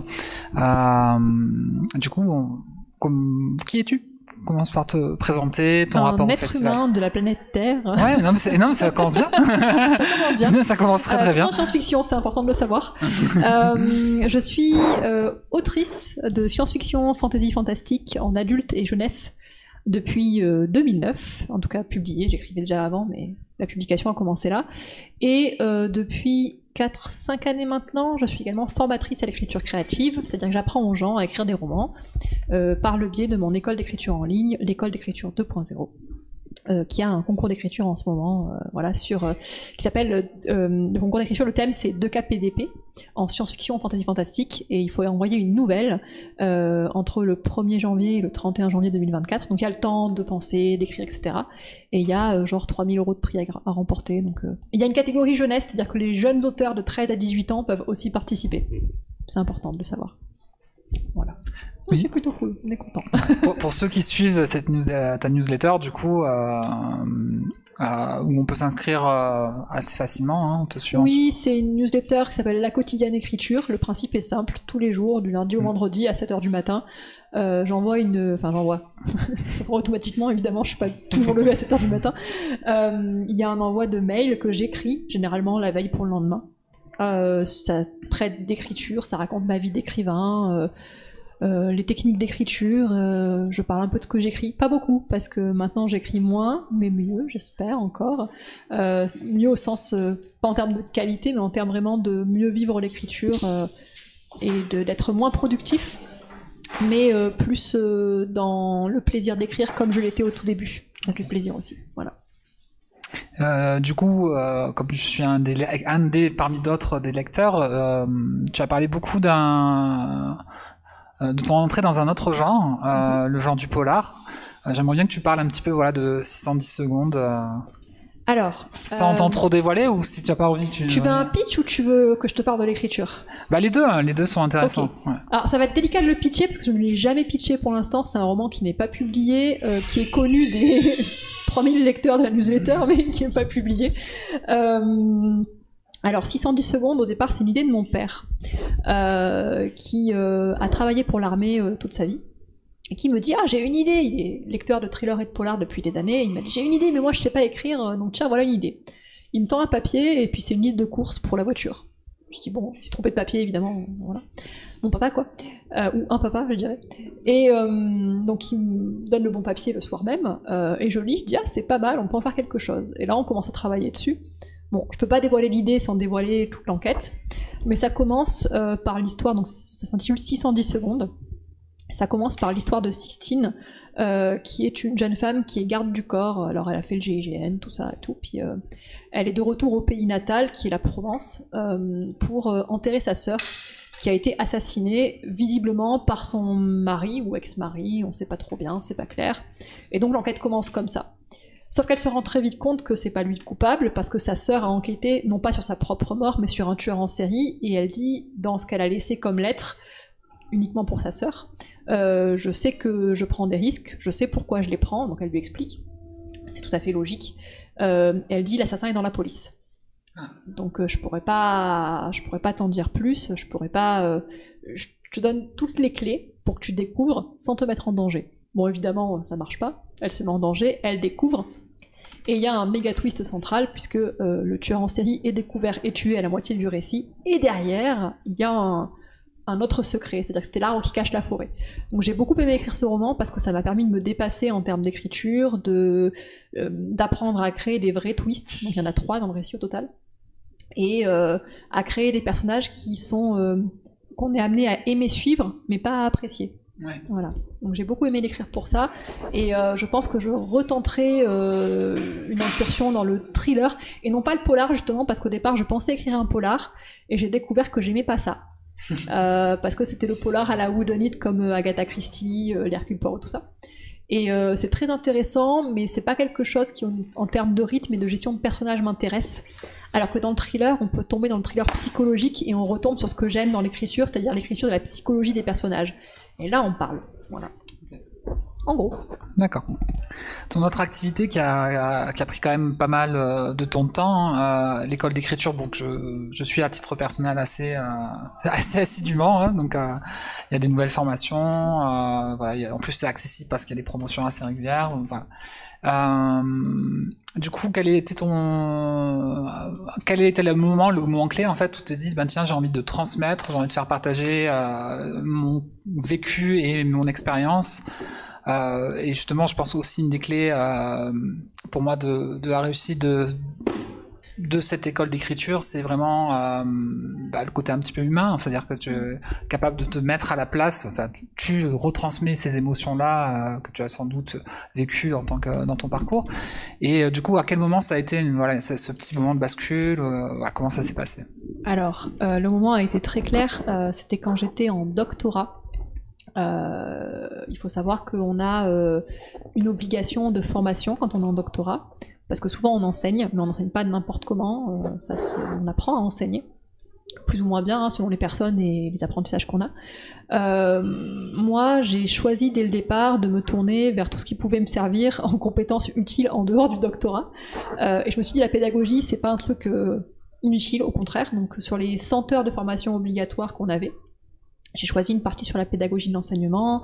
Euh, j'ai pris aussi genre du montage vidéo, euh, comment faire un documentaire, enfin des trucs. euh, J'avais eu 25 heures sur sur le documentaire, c'était sympa. Donc avec les plans, les contre-plans, machin. Et notamment dans le cadre de cette formation-là, on est aussi amené à donner des cours à l'université. Pas obligatoire, mais c'est conseillé. Euh, et il se trouve qu'au culot, je suis allée au département d'anglais. J'ai dit Hey, I speak English comme ça, parce que en japonais, j'avais pas un niveau assez élevé pour donner des cours de japonais. Alors en traduction, oui, mais pas des cours d'oral, par exemple. Et j'ai dit, vous manquez pas de personnel, il paraît que machin. Oui, oui, on manque. euh, bah tiens, tu vas faire ça, ça et ça. Bon, j'ai fait des cours d'anglais à l'oral au départ. Et au semestre suivant ou l'année suivante, je ne sais plus, euh, la prof avec qui je m'entendais très très bien, qui était responsable du programme pédagogique, me dit, Eh, euh, j'ai un cours que je fais habituellement moi. J'ai un cours que je fais habituellement moi, euh, qui est un cours d'enseignement de l'écriture créative en anglais. T'es écrivain, tu veux pas faire ça? Ok. J'arrive, 44 étudiants, un TD de 2 heures par semaine pour leur faire écrire un roman en 11 semaines. Il y a quand même la barre elle est haute, on va voir si on y arrive. Là-bas. Ah oui, d'accord. et, euh, et du coup, euh, bah vas-y, euh, fais ton programme sur le tas, parce qu'on l'apprend au début du semestre, hein, évidemment. C'est une spéciale dédicace pour toi, je pense. Euh, et en fait, euh, j'ai fait un programme. En fait, je leur ai fait écrire. Alors, en groupe, il y avait 44 étudiants. Ils ont fait des groupes de 4-5. Euh, et je leur ai dit voilà, on va écrire un roman pour la jeunesse, 100 000 signes d'ici la fin du semestre, en anglais. Oh, je sais pas bien l'anglais, puis on pourrait s'écrire. En... Je dis c'est pas grave. Je dis moi, je m'occupe de vous amener le côté histoire, le côté soutien, etc. Je dis la langue anglaise, on s'en fout. J'ai dit euh, ce que vous allez faire, vous pouvez le faire en français, en japonais, dans voilà, on s'en fout. Euh, j'ai dit le but c'est de vous amuser. Et c'est comme ça que à travers ce cours, j'ai créé sans le savoir toute la pédagogie de ce qui serait mon école d'écriture. Et c'est que un an et demi plus tard, quand j'étais en mode qu'est-ce que je fais après le doctorat, je veux pas enseigner à la fac parce que, enfin plein de raisons, euh, je me suis dit mais je veux continuer à enseigner. Et c'est là où j'ai découvert sur internet ce qui s'appelait la formation en ligne. Au départ, je croyais un petit peu que c'était un Eldorado d'arnaqueurs. hein. J'ai dit bon, pas très, euh. Et en fait non. Euh, Il y a beaucoup d'arnaqueurs, oui, mais il y a aussi beaucoup de gens qui le font sérieusement. Et euh, ce que j'ai découvert m'a converti à ce format de la formation en ligne préenregistrée. euh, parce que ben, en fait on peut apprendre à écrire des histoires ce qui compte c'est de tomber sur les bonnes techniques au bon moment et euh, de les appliquer en ayant conscience qu'on n'a pas l'obligation de tout appliquer qu'on a le droit même quand on est débutant de se créer sa propre technique et de faire des erreurs. C'est hyper important. En gros ça vient de là. C'est, euh, le bon côté, c'est là où vous avez le souci. Ah, Voilà, je tout sais pas si j'ai parlé du bon C'est la côté tout à l'heure. oui, donc, alors déjà, euh, bah, j'apprends que tu, pr- que tu parles japonais, je parlais japonais. Que tu parles japonais. Du coup, est-ce que tu comprends la vanne de ma casquette? Enfin, c'est pas vraiment une vanne, c'est plus une ref. Non Non. j'ai plus parlé japonais depuis 5 ans hein, donc euh, D'accord. Ah, ah oui, d'accord, c'était... euh, ah oui, oui non, il y a un moment pardon, depuis que tu avais 5 ans ou depuis non, 5 non, ans? non, non, ça fait 5 ans. En fait, euh, j'ai fait euh, un. C'est à cause de Miyavi, en fait. J'étais fan de- du guitariste. Euh, J'avoue, pour son physique au départ, puis après pour la guitare. On a un Euh, clone, hein, euh, qui, est, qui, qui fait l'entrée, là, qui a Ouais. les mêmes cheveux, voilà. Ah, bon, bah, ok. bah, euh, C'est à peu près la seule- je suis le seul tombée point comme, comme tout le monde sur lui par le côté J-pop, un peu euh, le visual kei, etc. Et puis, euh, j'étais ado, hein. Et en fait, derrière, j'ai découvert donc le japonais, machin, tout ça. Et c'est quand on est arrivé à la fac, on m'a dit, faut choisir une option. Je dis, oh, je sais pas, faire japonais, ça a l'air, a sympa. J'ai vu de la lumière, je suis rentrée et euh, j'ai fait jusqu'au doctorat. Et en fait, j'ai jamais été très bonne en japonais. C'est-à-dire que j'ai beaucoup pratiqué à l'écrit. Euh, et encore, j'étais, j'étais pas. Enfin voilà, j'ai, parlé japonais suffisamment pour aller dans le pays, faire ma vie tranquille, mais euh, je suis pas dans les jeux de mots, je suis pas fine. Alors qu'en anglais, au contraire, comme j'ai été traductrice pendant un moment professionnel sur ça, euh, là, je capte tout dès le départ. Mais là, honnêtement, je, j'ai plus. Non, mais c'était juste une parodie de Kill la Kill qui se transforme en Kill la Kill, voilà. Que- Ah effet. Voilà, Très c'est- bien. Mais que bon, pour, oui. pour la vraie question, euh, la vraie question, euh, j'ai enfin, il me semble que t'as que t'as quitté Twitter avant que ça soit cool. Est-ce que tu peux nous expliquer pourquoi? Oui, euh, parce que, euh, alors, on parlait des arnaqueurs formateurs tout à l'heure. En fait, quand j'ai lancé l'école d'écriture, il y a eu une vague de gens qui étaient contents, qui m'ont félicité et tout. Et il y a toujours le petit nœud des gens qui sont pas contents, qui font chier tout le monde en pensant que ça se sait pas, mais en fait ça se sait. Et en fait sur Twitter, euh, je sais pas si c'est l'algorithme qui est comme ça ou si c'est la structure de, Twitter, mais euh, il y a euh, beaucoup de, gens qui se permettaient des remarques, qu'ils ont le droit de penser, ils ont le droit de le dire, mais euh, vous savez ceux qui font des, des, des grands tweets en mode des hot takes, en mode ah là là c'est formateur qui dit ça, et en fait dès que je postais une newsletter, il y avait 3-4 tweets de toujours les 3-4 mêmes personnes, les 3-4 mêmes têtes de cons, hein, j'ai envie de dire, euh, qui postaient des trucs. Alors, ça me faisait pas spécialement. euh, Enfin, moi, je, je n'y prêtais pas attention. C'est des gens que j'avais euh, soft block, c'est-à-dire que j'avais mute leur compte, donc je les voyais pas, je m'en fichais. Euh, mais on venait toujours me dire qu'ils avaient raconté des trucs. Au bout d'un moment, je dis c'est bon, euh, c'est gentil, mais arrêtez de me prévenir. Enfin, ces gens-là, je m'en fous en fait. Moi, je fais ma vie. euh, et surtout, en fait, il y avait tout le temps des gens pour. euh, alors, ça, c'était mon cas personnel, mais aussi, c'est-à-dire qu'il y avait des tempêtes dans des tasses à café, quoi. Euh, et cet effet de tempête dans le milieu où les gens ils se mettaient sur la tête, ça m'a saoulé. Je dis c'est bon, euh, on m'avait tous gonflé, je me casse. Et du coup, en fait, je me suis cassée parce que quand tu commences à avoir un compte à 4000 personnes qui te suivent, dès que tu dis un truc, on te tombe dessus. Euh, moi, j'étais pas là pour ça. Au départ, j'étais là pour parler écriture et partager des photos de mon chien. Donc, euh, concrètement, euh, pas voilà. Et, euh, et ça m'a, en fait, ça, ça devenait anxiogène Twitter. Et je pense que là, ça, c'est encore pire. Et donc, je, je suis revenue sur Blue Sky il y a genre deux jours. Mais si ça tourne comme Twitter, vous ne me verrez pas longtemps, hein, concrètement. Donc voilà. Donc voilà. Du coup, j'ai vraiment j'ai quitté Twitter avant que ce soit cool, comme tu dis, parce que bah euh, le côté en fait, ça fait ressortir le côté toxique de certaines personnes et j'ai pas du tout, Mm. du tout aimé. Alors qu'il n'y a pas ça sur Instagram, il n'y a pas ça encore moins dans la newsletter. C'est-à-dire que les gens qui nous aiment pas, la newsletter, ils se cassent. Et alors, des fois, ils se cassent avec un, un grand mail long de 5 pages où ils t'expliquent pourquoi ils partent pas avec une thèse, antithèse, synthèse et compagnie. Puis je dis, bah, c'est très bien, je comprends vos arguments, bonne continuation. Il y en a un pas plus longtemps que, enfin, il y a pas plus tard qu'il y a quoi, deux semaines. Comme il y avait le- les 4 ans de l'école d'écriture, il est Oui, c'est Oh, la, la matrice là. il était en mode euh, ouais vous faites trop de pubs machin et tout. Je dis bon bah je comprends y a pas de souci. Enfin, en même temps vous tombez sur les 4 ans c'est sûr que c'est les 10 jours où je fais de la pub au max quoi. Donc euh, voilà. Après, il y en a pas tant que ça mais bon c'est pas grave. C'est partie du jeu et du contrat donc euh, voilà. Je suis désolé.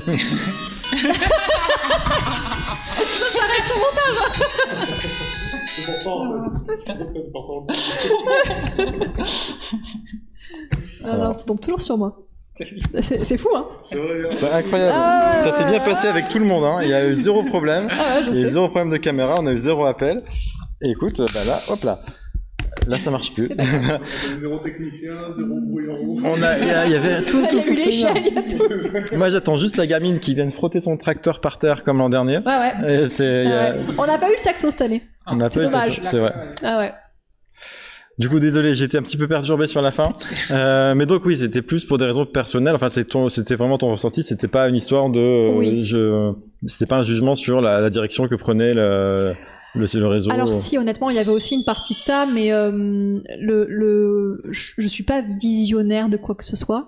Euh, les gens qui se prétendent visionnaires euh, c'est bien on voit pas l'avenir hein, je crois pas. Euh, ça, ça commençait à me déranger au sens où les pires travers qu'il y avait déjà étaient en train de s'empirer largement.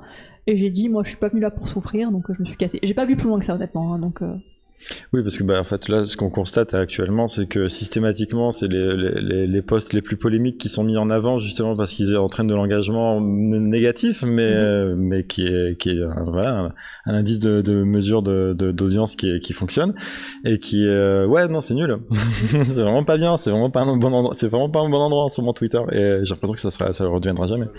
Les bouteilles, c'est très bien. Blue Sky c'est très ouais très c'est bien. sympa hein. On est tous les trois maintenant. Ah bah cool bah euh, je sais pas c'est quoi votre handle mais faut pas hésiter euh. Du coup, t'as gardé le même? Oui, c'est Cécile Duquesne. Je sais plus s'il y a un point au milieu ou s'il y a un underscore ou pas, mais c'est. Ça va. Normalement, tu me trouves euh, direct. Je vais le faire à l'ancienne. Alors montre-le bien à la caméra si tu veux. Voilà. Il est cool, mon livre. J'a- J'adore la couve. Je la trouve trop belle. Euh, donc c'est euh, après c'est une actualité un peu ancienne au sens où déjà l'année dernière c'était mon actualité.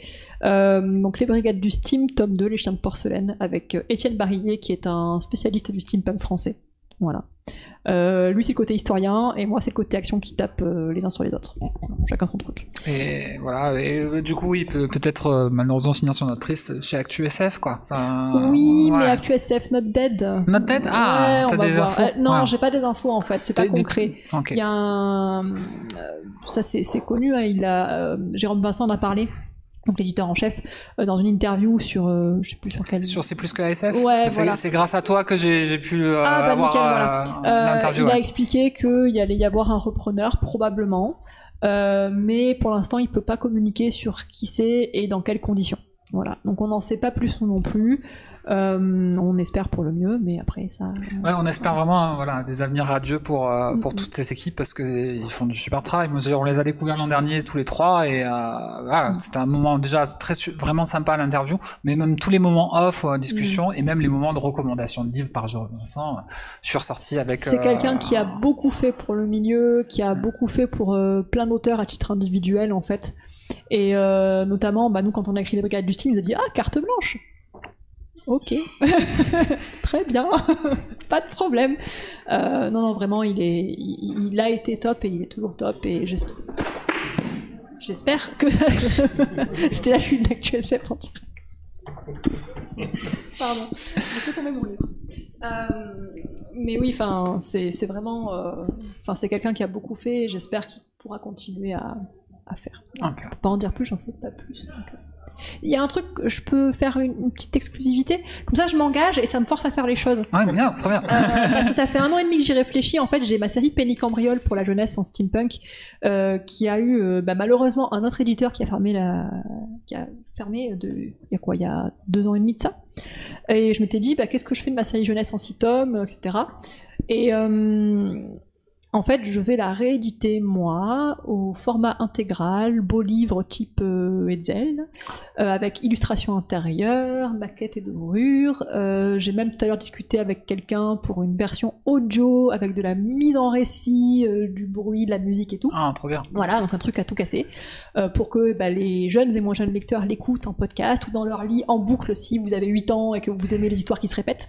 Voilà, donc je, je vais le faire, je vais essayer pour l'année prochaine. Et quand je dis je vais le faire, c'est parce que du coup ça me force à, à ne plus reporter le projet, ça fait deux ans que j'y pense et c'est un peu long. Du coup, euh, pour le financement, t'as pensé à quoi? Du crowdfunding ou autre chose? Alors, euh, je suis pour et contre le crowdfunding, c'est-à-dire que pour moi, c'est principalement un, un lancement, un crowdfunding, c'est-à-dire que c'est euh, un financement, certes participatif, mais c'est un financement à la vente. Euh, je ne le ferai pas si je ne suis pas sûre de la viabilité du projet euh, financière. C'est-à-dire que là, j'ai demandé des devis à droite à gauche, euh, j'en demandé un tout à l'heure euh, sur la table de dédicace. Euh, L'illustratrice pour l'intérieur, je la connais, elle m'a déjà fait un devis, donc ça je sais. Faut que un maquettiste, un illustrateur extérieur, etc. Euh, le truc, ça va être que ça va être mon école d'écriture qui va financer l'édition de ça. Euh, parce que j'ai le droit, c'est mon école d'écriture, je fais un peu ce que je veux. Et euh, en fait, ça va aller là-dedans. Donc ça veut dire que je sais que ça va se faire.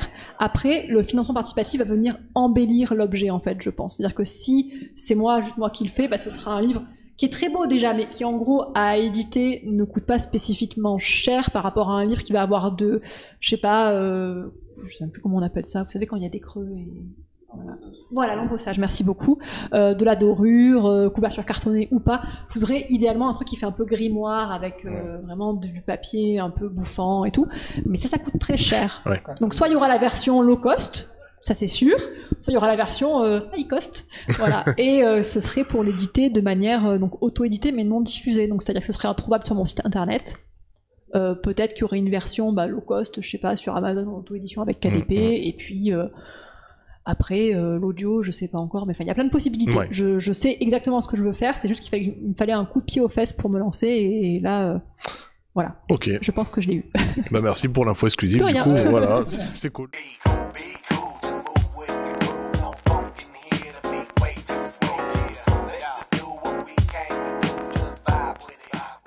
Bonjour Eric. Deuxième. euh, bon, tra- traditionnelle question quand on arrive dans, dans cette ce bel espace où il y a eu lieu les conférences. Euh, qui es-tu et voilà quel est ton rapport avec le festival euh, Voilà. Alors, je suis Eric Perron, je suis scénariste en auto-édition. Et donc, j'édite moi-même euh, la bande dessinée, dont j'écris les scénarios avec, avec des œuvres, en, en prenant des auteurs de comics comme dessinateurs. Du coup, est-ce que tu peux nous présenter euh, du coup ton projet principal donc euh, Alors, C'est c'est la série Rage. Là, c'est le premier, le premier album. J'espère qu'on le voit bien. Je sais pas. euh, un Plus petit- haut, comme ça. Mais un peu moins. Là, c'est bien. Comme ça, voilà, le Ah, très bien. album de Rage. Voilà, c'est- ça c'est le, le tout premier qu'on a sorti avec, euh, avec Tony Silas, qui travaille maintenant pour Marvel et DC. Et bon, juste après, juste après avoir travaillé pour moi, donc après j'ai pris un autre dessinateur pour, euh, pour la suite, parce qu'il était plus disponible. Donc, euh, donc voilà, c'est le premier album qu'on a sorti, et après on a envoyé sur une série euh, avec d'autres dessinateurs, une série numérique, et chaque fois qu'il y a deux épisodes de cette série qui sortent en numérique, euh, qui sont édités en numérique, j'en fais une compilation imprimée, parce que ça fait plus de 100, ça fait à peu près 100 pages euh, en imprimé, et je l'édite en version imprimée. Voilà. Ok. Et l'histoire de, de Rage, du coup, c'est quel univers, quel genre C'est euh, de l'heroic fantasy. Le, le premier album, ça raconte l'histoire d'un royaume qui est envahi par des démons. Et on appelle juste la mauvaise personne euh, à appeler pour s'en débarrasser. Alors c'est lui, c'est c'est le gros musclé qui est là.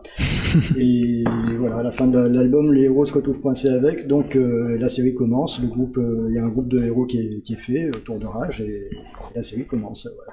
Et du coup, en termes d'influence, parce que euh, bon, moi, c'est pas forcément quelque chose où je suis spécialiste, le comics, Mhm. mais euh, ça me fait penser vraiment à des univers type euh, bah, classique de Conan Oui, ou sûr. euh, voilà, Mhm. c'est plus voilà, c'est plus dans ce, cette veine-là, du pur et dur, euh, quoi. oui, oui. Quand j'ai demandé au dessinateur de me dessiner le personnage de Rage, je lui ai dit fais-moi quelque chose entre Conan et Hulk. Voilà, ouais. c'est un bon mélange, C'est- voulu, hein. C'est complètement assumé, c'est voulu. Et, et du coup, la série, elle a combien de tomes? Est-ce qu'elle est Non, terminée elle n'est pas terminée, c'est une série continue qui continue tant que j'ai des idées, et donc euh, c'est en illimité. J'ai trop d'idées pour, euh, pour, par rapport au, nombre d'albums euh, apparaître. Je crois que de mon vivant, de- les idées, euh, Ouais. j'aurais pas tout fini. donc euh, voilà, ça, ça continue tant que, tant que je continue. Et euh, par rapport justement, par exemple, s'il y a des euh, des, le- des lecteurs potentiels qui euh, voilà, qui préfèrent le format numérique, justement, comment on peut euh, on peut on peut, on peut Non, sur retrouver le site. Sur le site. Il y, a, il y a un site de Rage, un site Ah, officiel, sur lequel je liste tous les, tous les éditeurs numériques qui éditent, et qui, qui éditent Rage en numérique. D'accord, ouais, très bien. C'est bon. Euh, à, chaque tome, c'est une histoire euh, à part entière ou il y a un fil conducteur tout le long euh, Non, en fait, le premier tome, c'est comme un album. Je l'ai imaginé comme un album complet. Et après, la série, c'est une série à suivre, euh, comme des comics. Donc, il y a, bon, y a une première saga de, de cinq épisodes à peu près. après, il y en a une autre qui commence. Enfin, c'est c'est- c'est sur plusieurs épisodes. Voilà. Il y a d'autres, euh, tu as amené donc du coup sur le stand euh, qu'on a pu voir tout à l'heure, euh, deux autres ouvrages qui nous ont euh, intrigués aussi avec euh, avec Ultra Chili. Euh, je, je pense que peut-être Ultra Chili, je vais lui laisser peut-être merci ChatGPT s'il a une question à propos. Et moi, je- voilà quelque chose qui est pour moi très très significatif. euh, bah, le titre euh, de ton ouvrage, 10 ans pour gagner sa vie en tant que scénariste, c'est ça Euh, c'est non, pas du tout. c'est pas Alors, ça Non, c'est 10 ans de galère. Alors, si Ah, c'était pour gagner sa vie en tant que scénariste, Ouais, j'ai j'ai traduit dans ma tête comme ça en fait. J'aimerais bien gagner ma vie en tant que scénariste. Mais c'est pas le cas pour le moment. Bah, du coup, est-ce que tu peux voilà raconter comment bien, euh, Ouais, voilà, ouais. Ça, alors j'ai, j'ai- ça fait 16 ans que je suis en auto-édition et pour les 10 ans, j'ai voulu faire quelque chose. J'ai voulu raconter mes 10, pre- mes 10 premières années d'auto-édition euh, que j'ai appelé 10 ans de galère parce que c'est un peu ça l'auto-édition, c'est, beaucoup de galère. Donc euh, j'ai, décrit, en fait, j'y décris euh, à la fois mon projet, euh, enfin comment j'ai commencé, ce que, la façon dont j'ai procédé, et je, je donne des clés pour écrire un scénario de, de bande dessinée, euh, de- pour, pour écrire quoi, pour, pour écrire de la même façon que, que, que ce que j'ai écrit, voilà. Ce qui est pas forcément commun, hein. c'est-à-dire que euh, pour étudier, bon après c'est un peu ancien, c'est-à-dire dans ça, ça a quand même euh, quelques années, mais les ouvrages qui euh, traitent du scénario de BD, bon de manière frontale, ils sont pas très nombreux. Enfin peut-être qu'aujourd'hui un peu Oui. plus, mais euh, Mais enfin, il n'y a pas vraiment d'ouvrage. a, il y a a y a pas de, on va dire de bible entre guillemets de Non, du scénariste de. BD, Ouais, alors qu'elle existe pour le du cinéma ou. Ouais, ouais, mais voilà, du coup, c'est c'est intéressant d'avoir un, un regard déjà, un témoignage, mais pas simplement aussi des, euh, des choses qui sont sur quelque chose, un média qui est très spécifique en termes de, Ouais, de narration. Donc euh, ouais, c'est intéressant d'avoir cet ouvrage qui existe. Oui, je dirais, bah, je dirais même qu'il n'y a pas d'école de scénaristes de bande Non, dessinée. Il y a des écoles de bande dessinée qui apprennent aux dessinateurs à écrire des scénarios. mais bon, Donc euh, ouais. C'est au niveau scénario, au niveau euh, apprentissage de scénario, on n'a que ça.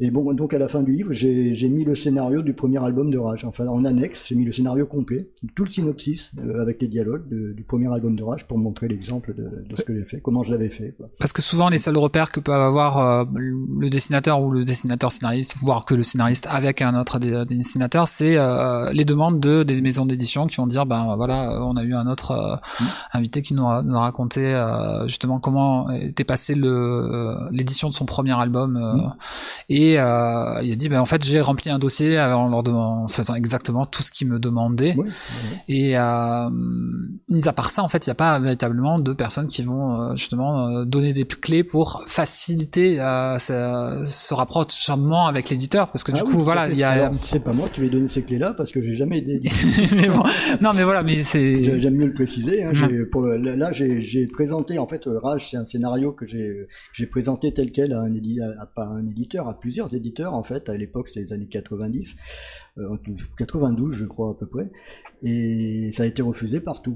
Euh, après, j'ai donc après j'ai compris que pour faire un projet, il fallait quand même avoir un dessinateur. Donc euh, j'ai- les autres projets de bande dessinée que j'ai fait, je les ai fait avec un dessinateur. Donc j'ai présenté les projets avec le dessinateur et là c'était soit le dessinateur a arrêté le projet, soit le scénario était refusé, le scénario, soit le projet en entier parce que là c'est le projet entier qui est refusé, soit le projet entier était refusé. Euh, c'est voilà, c'était donc j'ai jamais eu l'occasion euh, de, de, de, travailler chez un éditeur. Par contre, quand dans les années 2000, quand j'ai quand, quand tout a, quand l'impression numérique a commencé à se, à se, à se généraliser, j'ai vu que je pouvais faire quelque chose de, de comme Rage en fait, comme cette bande dessinée qui est, qui est de l'impression numérique en fait, hein, euh, mais c'est de l'impression numérique de qualité. Euh, donc j'ai vu que j'avais tous les outils, il suffit d'avoir un ordinateur et puis les, outils appropriés pour, euh, pour faire, pour créer un livre, au moins un livre numérique. Donc euh, je me suis lancé justement parce que j'ai vu que je pouvais. Voilà, je, je, peux me lancer seul. Je me suis dit, bah, puisque j'ai pas fait, puisque j'ai pas, je voulais faire mon projet de bande dessinée, donc je vais le faire. Et je l'ai fait, voilà. Ah, très bien, super. Parce que bon, faut y aller. Faut, enfin, bah, quand on a un, rêve à poursuivre, il faut y aller jusqu'au bout. voilà, c'est, vraiment ce que je voulais faire. Hein. Donc, euh, j'avais, pas les outils dans les années 90. Maintenant, je les ai. Donc. Et euh, du coup, sur le stand, il y a un autre ouvrage qui a attiré notre regard et qui s'intitule Merci ChatGPT. Hmm.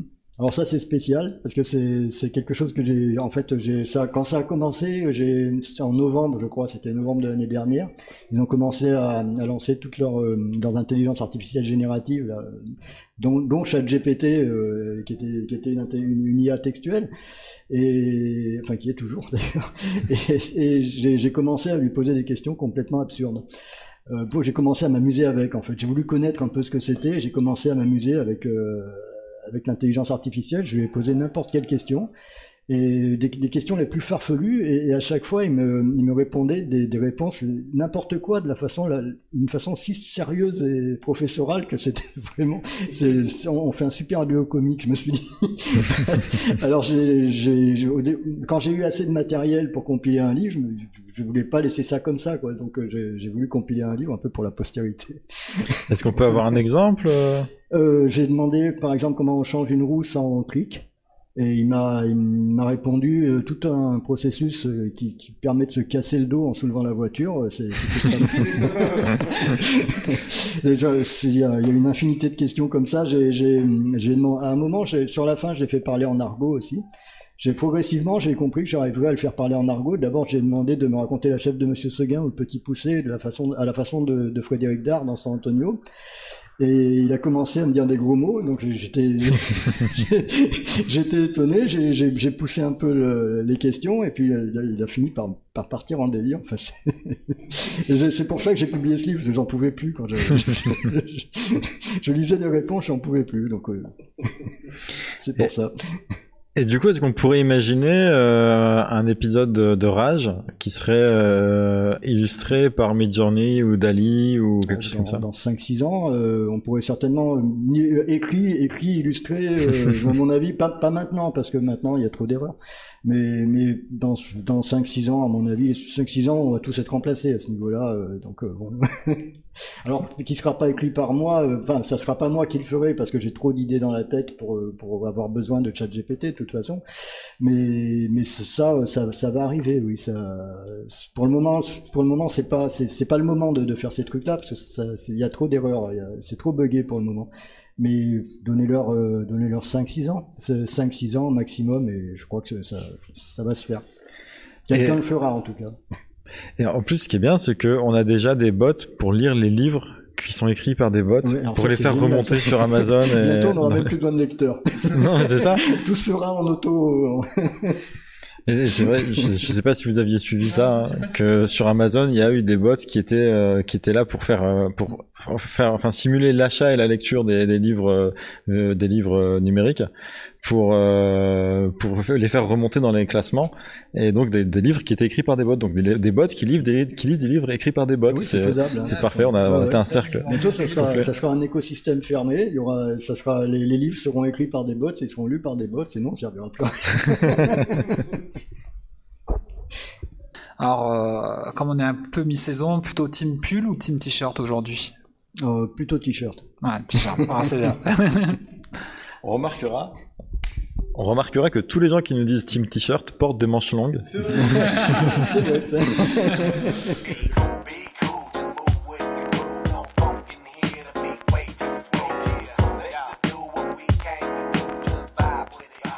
Bonjour Arnaud.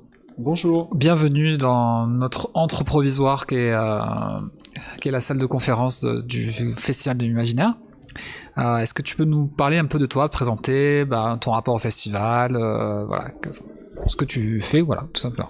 Alors, ben, moi, par rapport au festival de Saint-Canas, c'est une découverte parce que c'est la première année euh, que j'y viens, tout simplement, j'y suis invité. Euh, c'est également la première année, euh, première fois que je viens en fait dans la région euh, même euh, d'Aix-Marseille, on va dire. Euh, et voilà, je suis donc euh, très content de découvrir cette région, ses lecteurs. Je suis auteur de d'imaginaire, hein, pour au sens large, fantasy, fantastique essentiellement, depuis deux ans et demi. Donc tout jeune auteur avec quatre livres qui ont été édités en deux ans et demi. Voilà. C'est très bien. Du coup, quoi- comment c'est venu, je pense, ce goût de l'écriture ou, ou en tout cas peut-être euh, une forme de reconversion? Est-ce que tu en vis aujourd'hui ou est-ce que c'est une activité un petit peu en parallèle? Non, c'est pour l'instant c'est un second métier. Euh, J'insiste un petit peu sur le terme de métier parce que voilà justement C'est un vrai travail, oui, c'est un un vrai métier, travail euh, l'écriture. Euh, je je n'en vis pas, euh, mais ça m'a contraint quand même à changer euh, mon, mon rapport au travail puisque pendant ces dernières années, pendant 11 ans, j'étais chef d'établissement en fait en collège. D'accord. Et euh, depuis, je suis redevenu enseignant depuis un, un peu plus d'un an maintenant, euh, pour permettre justement ben, de gérer euh, les contraintes euh, euh, liées euh, au métier, donc les temps d'écriture, les retours édito, et puis euh, aussi les déplacements. euh, voilà.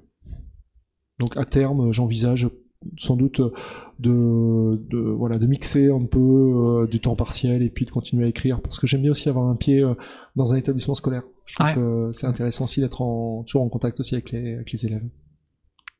Et euh, bon, bah, sans indiscrétion, c'est quelle matière que, que tu enseignes Alors, j'étais longtemps enseignant de français et d'histoire, puis professeur documentaliste. J'ai eu des, plusieurs casquettes dans l'éducation nationale avant de passer le concours de chef d'établissement.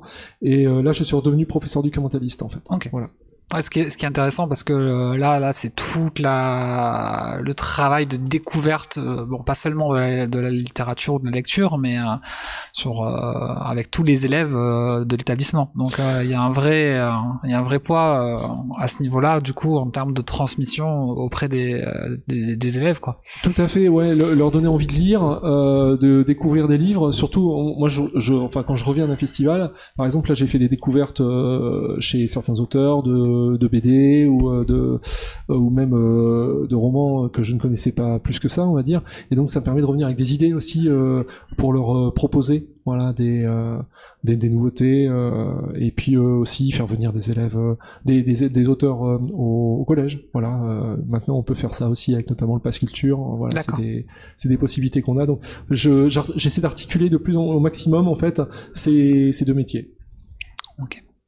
Parle-nous un petit peu de, de, entre guillemets ta dernière œuvre en, en cours. Du coup, est-ce que c'est euh, les quatre euh, romans que tu as écrits Du coup, c'est une œuvre qui se suit d'un cycle ou c'est des œuvres indépendantes nouveau- ouais, c'est un- c'est une nouvelle série en fait, Ah, euh, donc qui est sortie le mois dernier, donc qui s'appelle euh, Croc de loup, voilà. Et euh, donc Croc de loup, euh, illustré par Xavier Colette. Voilà, je, je monte, j'insiste sur l'illustrateur parce que c'est quand même l'illustrateur que j'avais demandé, qui est un super illustrateur de fantasy belge et qui a bien voulu travailler sur ce projet. Ça sera une série donc de trois romans. D'accord. Euh, donc le premier est sorti le mois dernier, les deux autres sortiront en 2024 chez Gulfstream Editor. Euh, et c'est euh, c'est un roman d'abord pour une cible 9-12 ans, euh, avec l'idée euh, de, de rentrer de plein pied dans un univers de fantasy pour des lecteurs qui n'ont pas encore l'habitude, qui sont encore de jeunes lecteurs. Voilà, donc on va retrouver tous les codes de la fantasy, euh, de la magie, des clans, des complots, des trahisons dans un monde que j'ai totalement créé. Donc là, on est sur du pur imaginaire euh, avec ce avec ce texte. Ah, très bien. C'est intéressant parce que c'est, hum, euh, je suis enseignant aussi, mais plutôt avec des petits, donc à l'école primaire, et c'est pile le genre de cible, et c'est- vraiment quelque chose qui, euh, à titre personnel, en tout cas, me manque comme de- des références justement dans un genre que j'affectionne beaucoup.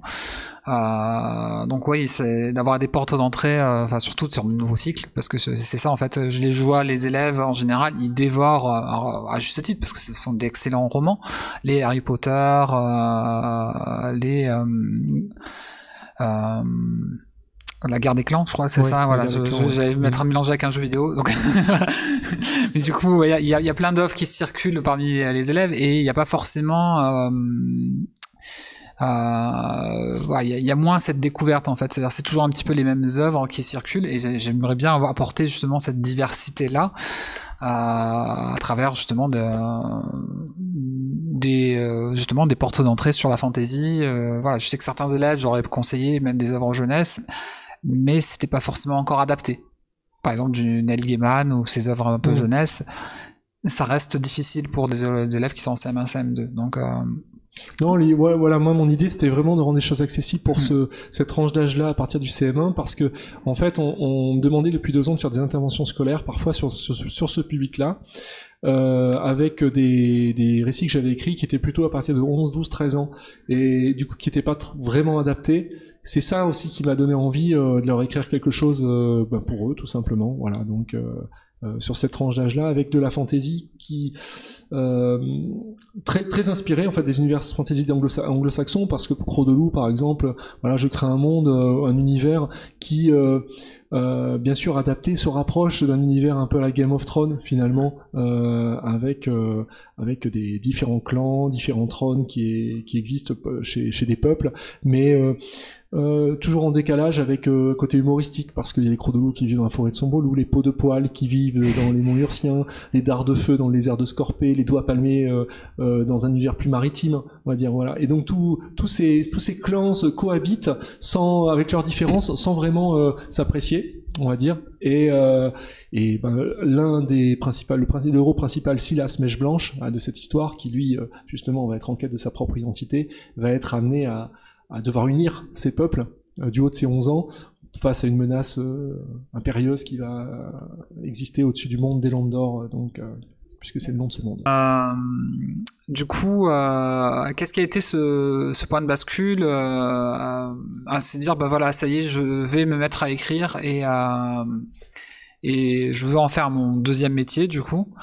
Quel moment où il y, a, eu cette bah, moi ce que je trouve assez admirable en général chez euh, que ce soit euh, qu'on ait envie de faire euh, auteur depuis écrivain depuis tout petit ou simplement que ça soit une passion qui vienne plus tard à, l'âge adulte c'est comment on y arrive à, finalement être édité ou simplement avoir un roman terminé en fait c'est qu'est-ce qu'il y a eu ce passage je veux dire j'écris des nouvelles ou j'écris un petit peu des, des, petites choses pour apprendre à écrire apprendre des techniques à créer des univers etc à véritablement ça y est je me lance dans un projet que je vais mmh. je sais que je vais achever alors moi je me je, je, pensais pas en fait pouvoir écrire des romans. Hmm. Voilà, ça c'était la première chose. Euh, au départ j'ai toujours écrit euh, depuis que je suis euh, petit. J'ai eu j'ai un grand un grand imaginaire mais j'ai toujours écrit des petits textes, des choses assez poétiques aussi même parfois quand j'étais ado. Et puis et puis l'écriture voilà je étais de côté. J'écrivais quelques textes comme ça très courts mais jamais au long terme parce que pour moi l'écriture pendant longtemps j'ai fait cette erreur de penser que c'était quelque chose de l'instant en fait voilà, je saisissais un instant. Et euh, donc c'était impossible pour moi d'écrire quelque chose sur le long terme parce que ça me supposait que l'instant était trop long, voilà, tout simplement.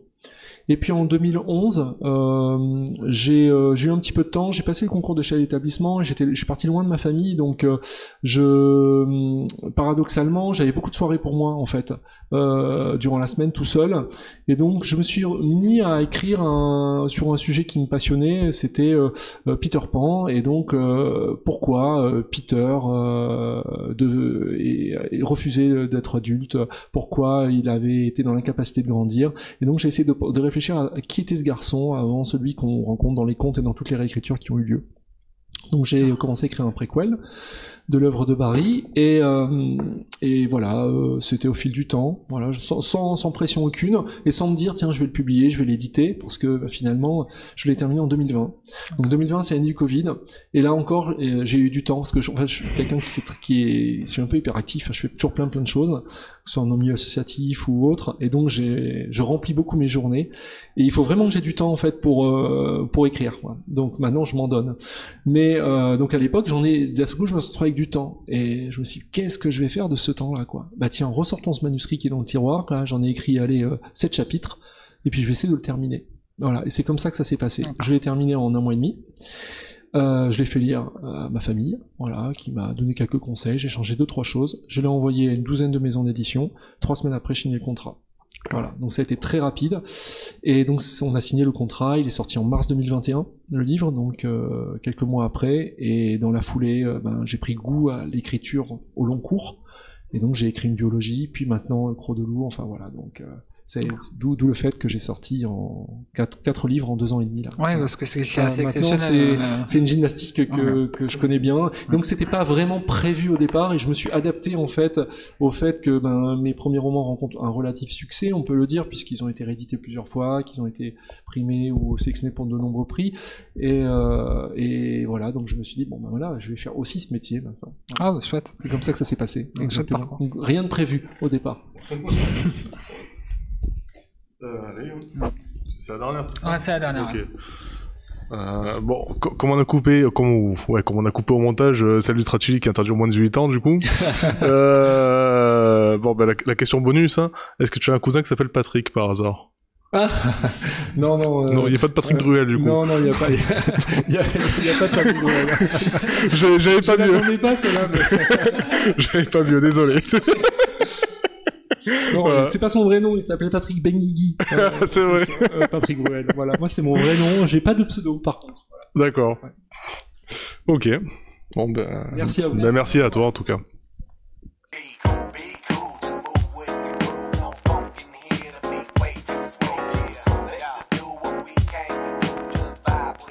Donc bonjour Cyril Caro, euh, bienvenue euh, dans notre lieu provisoire pour interviewer euh, tous les acteurs et les actrices de ce festival, qu'ils soient créateurs, euh, illustrateurs, euh, éditeurs. euh, et- Ouais, non, on fait pas tous, on va pas tous, tous les faire, c'est un peu frustrant, mais bon voilà. Et euh, du coup, la première question, c'est euh, se présenter, le rapport avec le festival, euh, voilà. Bon, moi je suis d'abord, je suis auteur. Mhm. Et Eh oui, c'est ce qu'on appelle un fail.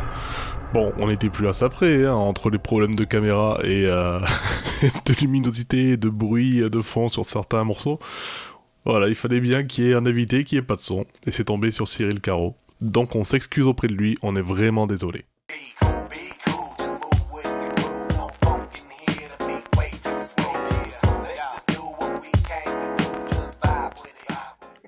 Alors, bonjour Captain Lynn. Bonjour. On a réussi à te sortir de ton antre. Oui, ça n'a pas été euh, si facile que ça. C'était- difficile. On a eu beaucoup de monde aujourd'hui. Ouais. On a eu beaucoup de monde à Saint-Cana, c'était super. Euh, vraiment plein de, plein de gens qui étaient intéressés, beaucoup de familles, euh, des, des gens qui venaient faire des cadeaux, des, des enfants qui étaient euh, intéressés par les dessins. C'est toujours euh, très agréable de venir ici. On est très bien accueillis, on a un public exceptionnel.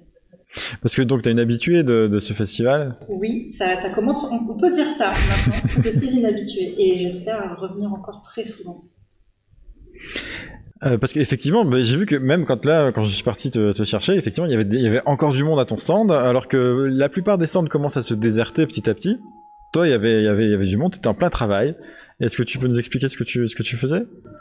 J'étais en train de distribuer des trucs pour que les gens restent. En fait.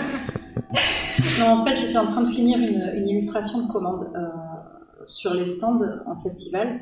Euh, J'ai l'habitude de proposer des illustrations à la demande, euh, en format A5, A4, et c'est très intéressant parce que ça nous met souvent au défi ce genre de, propositions. Je fais pas juste des portraits, je fais une illustration à la demande. En général, je marque tout ou presque en dessous de mon petit écriteau. Et parfois, on a des demandes un peu compliquées, ou des personnages, de, des fanarts qu'on nous demande, des personnages qu'on connaît pas du tout. Donc, on découvre des univers aussi euh, intéressants, ou des mangas qu'on a. un, un exemple ou deux de, de, de demandes compliquées? Moi, je sais que j'ai euh, quelqu'un qui m'a beaucoup marqué et qui m'avait demandé la bataille euh, dans, dans Minas Tirith. Euh, autant dire que c'était du pointillisme à la fin. Quoi. En format A5 Ah oui, moi, je ne suis pas lancée dans le bloc à la Génie, on s'y va, fera pas autre chose. Voilà. En parlant de petits formats, euh, tu as sorti un tarot? Oui, j'ai sorti un tarot qui est juste là. C'est le tarot du capitaine. En fait, je me suis amusée à créer mon propre tarot avec euh, les personnages de la pop culture qui me tiennent à cœur. Voilà, tout simplement. Je me suis basée sur euh, la structure du tarot euh, de Marseille, classique, pour tirer les cartes, faire la voyance. Alors, je ne suis pas voyante, je ne suis pas tarologue, je suis juste euh, fan euh, des belles images, des jeux de cartes, du tarot, et j'ai voulu créer le mien en partageant mon univers et tout ce que j'aime. Donc j'ai utilisé des personnages de séries, de cinéma, de, BD, de manga, et qui correspondaient aux valeurs réelles des cartes. On peut vraiment se tirer les cartes avec si on veut, on peut juste faire un petit oracle sympa, mais euh, voilà, c'est du fun et, et de l'utile en même temps. Est-ce que tu peux nous montrer quelques cartes éventuellement? Euh, Alors, bah, on va même tirer chacun notre carte. On aurait pu tirer chacun notre carte. Donc, on a par exemple là euh, Dark Willow, qui est un personnage de Buffy contre les vampires. Que ah oui, ouais, c'est la classe ce personnage. Euh, c'est un personnage qui est très très très fort, euh, assez puissant. Euh, on va avoir des personnages un petit peu plus... Et qui représente, pardon, du coup? Alors là, pour le coup, c'est le 10 d'épée. Hmm. C'est un personnage qui, on va dire, le 10 d'épée, c'est une carte, j'allais dire presque de souffrance. Euh, c'est une révolution dans la douleur un petit peu. Mais quand on tire ce genre de carte, il faut pas penser que c'est euh, forcément une mauvaise chose. Parfois, c'est juste que ça nous fait mal de lâcher certaines choses pour avancer. D'accord. Voilà. on a des cartes plus fraîches, comme les Power Rangers. voilà. Qui sont, euh, qui représentent le 3 de Pentacle.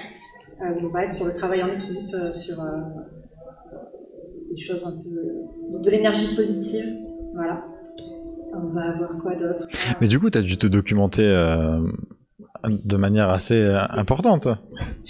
Passé mon temps sur Internet et j'ai revu toutes mes bibliothèques et euh, en fait, je me suis fait un gros brainstorming avec moi-même.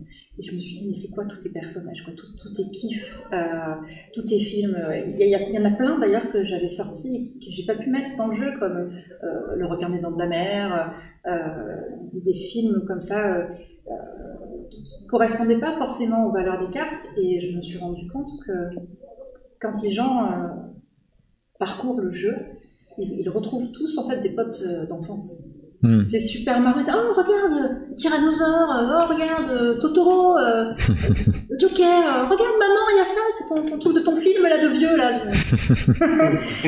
et, euh, et en fait, en voulant partager mon univers, je me suis rendu compte que c'était l'univers de beaucoup de gens, c'était ma génération en vérité. Et c'est pour ça que ça parle et que, que les gens s'y retrouvent. D'accord. Et du coup, tu mélanges plusieurs styles différents dans le tarot. Il y a des dessins qui sont plutôt naïfs, d'autres qui sont très détaillés. Euh, pour le tarot, j'ai cherché à avoir quand même un, un style de dessin qui soit euh, euh, harmonisé. Voilà. Mmh. c'est vrai que dans mes illustrations, on va avoir des choses assez réalistes, des trucs un petit peu plus naïfs, comme tu dis, ou très simples, des choses très dark, des trucs très colorés. Euh, en fonction du message et de, l'univers que je vais vouloir travailler, je vais même utiliser des techniques différentes. Et, et ça, je voulais pas dans le tarot avoir euh, trop de différence entre les personnages. Au hmm. contraire, je voulais que tous ces personnages d'univers différents se retrouvent un petit peu sous, la même, sous le même trait. Euh, il y a une chose que j'ai faite d'ailleurs, c'est qu'aucun personnage n'a pupille. D'accord. Ils ont tous les yeux tout blancs. Ils sont tous morts. J'ai vraiment cherché à, à ce qu'ils aient une expression la plus neutre possible pour que chacun puisse euh, voir le personnage comme il le voit vraiment lui-même. Euh, moi, je sais que Rupert Giles, qui est dans Buffy contre les vampires, c'est un, un, un, personnage d'accompagnement très important pour moi. Euh, pour d'autres, ça sera juste un bibliothécaire relou. Euh, après, chacun va, doit pouvoir lire la carte avec, euh, avec son propre prisme. C'est un bibliothécaire badass. je suis d'accord avec ça. Euh, d'autres actus, d'autres. Euh, alors. Euh... J'imagine qu'on te retrouve dans d'autres festivals. Alors d'habitude, je fais par exemple la Japan Expo. Ça ne sera pas le cas cette année. Pour de bonnes raisons. je prépare avec mon amie Laila Belabid euh, des, des, des, quelques petits projets, donc une bande dessinée qu'on aimerait faire. D'accord. Voilà. Pour l'instant, ce serait un, un, volume. On va le proposer. On va. On est vraiment sur un, un projet très euh, on veut se retrouver entre copines euh, sur un projet BD et s'éclater. C'est l'idée. Euh, je m'attaquer aussi à la jeunesse parce que ça me fait, envie, tout simplement. Donc là aussi, j'ai un petit projet jeunesse qui, est sous le coude.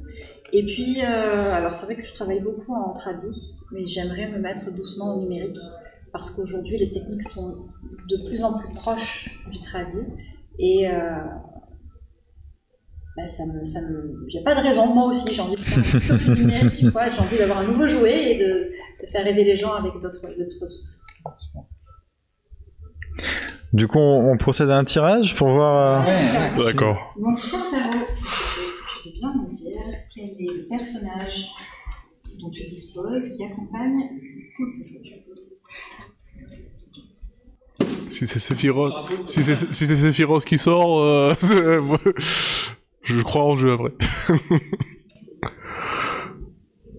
Tu es gay oh putain, alors, je- alors, est-ce que tu peux la montrer Est-ce que Franchement, tu es bien accompagné. bravo, bravo. Ah, est-ce que tu peux la montrer à l'écran Alors du coup, c'est Gali à la caméra. Ouais, nickel. Ah, je suis bien accompagné. Bravo. Euh, Alors, c'est une arcade majeure, c'est la Lune. Ah, c'est Euh, bon. Oh, c'est une, c'est une carte qui parle euh, des profondeurs euh, de notre. Ok, C'est- Tu as un personnage qui, qui sort de loin qui t'accompagne aujourd'hui. Ah, trop bien. Je crois que ça va pas. Ultra Jelly, un prépuce. hein.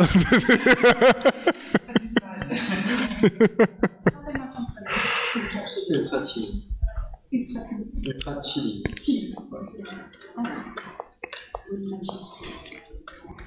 Alors là, euh, elle mélange les cartes. Je fais les commentaires hein, en off, hein, du coup. Elle mélange les cartes soigneusement.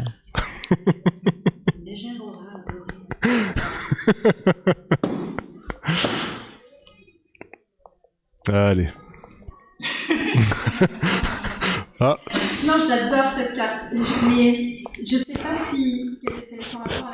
ah, ah, ah. Alors, Elle est tellement chouette. Qu'est-ce qu'il y a pour Ultra Chili C'est Eric Cantona. Eric Cantona. tu, tu peux, tu peux la montrer, euh, voilà, Eric Cantona. Euh, Ça aurait pu être pour moi, ouais. c'est- c'est- Ça, c'est parce que je cherchais dans mon ventre. Tu vois, c'est le roi de bâton, c'est. euh, eh ben, c'est c'est une forte. C'est c'est quelqu'un qui va aller s'imposer, qui va aller chercher. euh, qui va chercher le point, tu vois. Il y va, quoi. Il va au carton. Il va chercher euh, pour ses objectifs. Voilà. Bon, ça va, ça va. Bah, franchement, il y a pire. Hein, pour Ouais. t'accompagner aujourd'hui. euh. Bon. Ben, du coup, roulement de tambour hein, pour moi. Alors, Faut donner son petit nom. alors, euh, ben, euh, Jirem. Oh, Alors, ça, c'est un personnage puissant. oh, ça a de la puissance. Ça me caractérise. Et euh, vaut mieux pas qu'on t'emmerde aujourd'hui. Ah, je suis de bonne humeur aujourd'hui, ça va. Vlad Dracula avec nous. Ah, bien, c'est beau ça. Ah, joli dessin en plus. Ouais, ouais, ok. Ouais, c'est cool, c'est cool. Alors c'est un personnage qui est très euh, passionné, Ah. euh, qui est très, euh, euh, c'est- avant tout un, un- un amoureux euh, très très très passionné et qui a, qui a traversé le temps et franchement si- s'il est auprès de toi aujourd'hui, je pense qu'il rencontrer. ok, bah, ça va. bon, euh, m'emmerdez pas, les gars. ça va, mais super. Merci à vous. Merci à toi.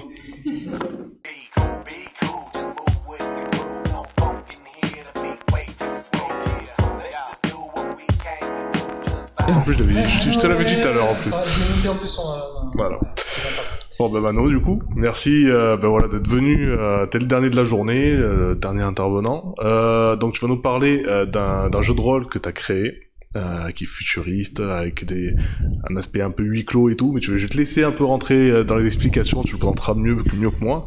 Euh, donc voilà, je te laisse présenter ben, Quantique. Tout à fait. Alors l'aspect huis clos, c'est dans un, c'est dans un scénario euh, spécial Ah. qui est sorti dans JDR Mag, donc on va dire le, un, un- un des plus gros magazines de jeux de rôle en France. Et donc c'est un scénario spécial et en fait ils nous ont fait le plaisir de nous faire une critique et aussi de nous offrir la couverture en surprise, donc on était ravis. Le, jeu il se, passe euh, en 2400 dans le futur de l'humanité, dans le système solaire. Et euh, il y a euh, 40 milliards d'êtres humains, de néo-humains, car il n'y a plus aucun être humain, il n'y a que des néo-humains. Euh, une centaine de personnes sur ces 40 milliards peuvent altérer la réalité. Les joueurs font partie de cette centaine de personnes. Voilà, donc ça c'est le pitch. Donc c'est un jeu de science-fiction avec, euh, comme on peut le voir là, hop, Tu des peux, vaisseaux mon- spatiaux. tu peux monter plus haut, peut-être? Ouais, hop là. Voilà, je sais que c'est avec le micro, c'est pas évident, tu peux le poser si tu veux. hein. Voilà. Avec des vaisseaux spatiaux, par là, hop, la caméra. Des vaisseaux spatiaux, des androïdes, euh, des euh, personnes qui ont de la cybernétique et aussi parfois des altérations du réel euh, qui permettent de, euh, enfin, d'apporter un peu de piment dans cet univers de science-fiction. Euh, voilà. Ok. Alors peut-être avant de rentrer dans les détails du, du jeu, on peut peut-être bah, déjà être sur le son aspect. Donc euh, il y a des jolies illustrations, je vois sur les couvertures là par exemple ouais, du bouquin qui, qui est devant toi exactement. Euh, tu peux peut-être le rapprocher de la caméra, on le verra un peu mieux. Euh, donc tu, tu travailles j'imagine avec bah, avec un, un artiste français, c'est ça? Euh, Il y a que des artistes, c'est que des Français. C'est un jeu français euh, qu'on a créé, un jeu du Sud. hein, voilà, on l'a Mhm. créé dans le Sud. On est de Nice. C'est une petite maison d'édition euh, qui s'appelle Nice Créa Dream. Euh, voilà, et c'est donc le premier jeu qu'on a sorti ensemble. Il y a plusieurs illustrateurs. Donc euh, là, il y a un illustrateur qui s'appelle Guillaume Follet. donc il a fait ces illustrations là. Il y a plusieurs. En fait, le jeu il se compose de trois livres qui vont ensemble. Euh, Il y a euh, donc celle-là aussi, voilà. Donc on voit un, un Android qui est euh, altéré en Mhm. partie, comme on peut le constater. Et puis euh, voilà, des illustrations. Il y a un aspect, euh, donc il y a des aspects assez aventure, exploration, des aspects enquête. Et là, on voit des aspects plutôt intrigue. Donc, euh, en fait, le MJ peut bah, choisir ce qu'il préfère. Donc, en termes de thème, on a euh, une équipe de mercenaires qui va faire des missions, donc plutôt classique, un peu euh, cyberpunk pour ceux qui connaissent. Euh, on a euh, les pirates de l'espace, donc euh, voilà, on comprend assez facilement. On a euh, des thèmes un peu à la Dune, pour ceux qui connaissent pas, c'est Game of Thrones dans l'espace, donc là c'est plutôt intrigue. Il y a une équipe Faucon Millennium, donc c'est dans un petit vaisseau, et là ils vont plutôt explorer les planètes, découvrir des dystopies, donc les dystopies c'est des, des, utopies, donc des mondes parfaits, mais qui sont un peu... euh, qui vont virer au cauchemar. Euh, Il y a certaines choses étranges, comme par exemple, il va y avoir des clones, mais qu'est-ce qu'on fait de ces clones? Est-ce que euh, on prend les organes sur ces clones ou est-ce qu'ils sont plus parfaits que nous? Enfin voilà, il y a des choses, des thèmes comme ça. sur lesquels l'humanité se pose des questions, en science-fiction on se pose pas mal de questions, on se projette, et à explorer au fur et à mesure.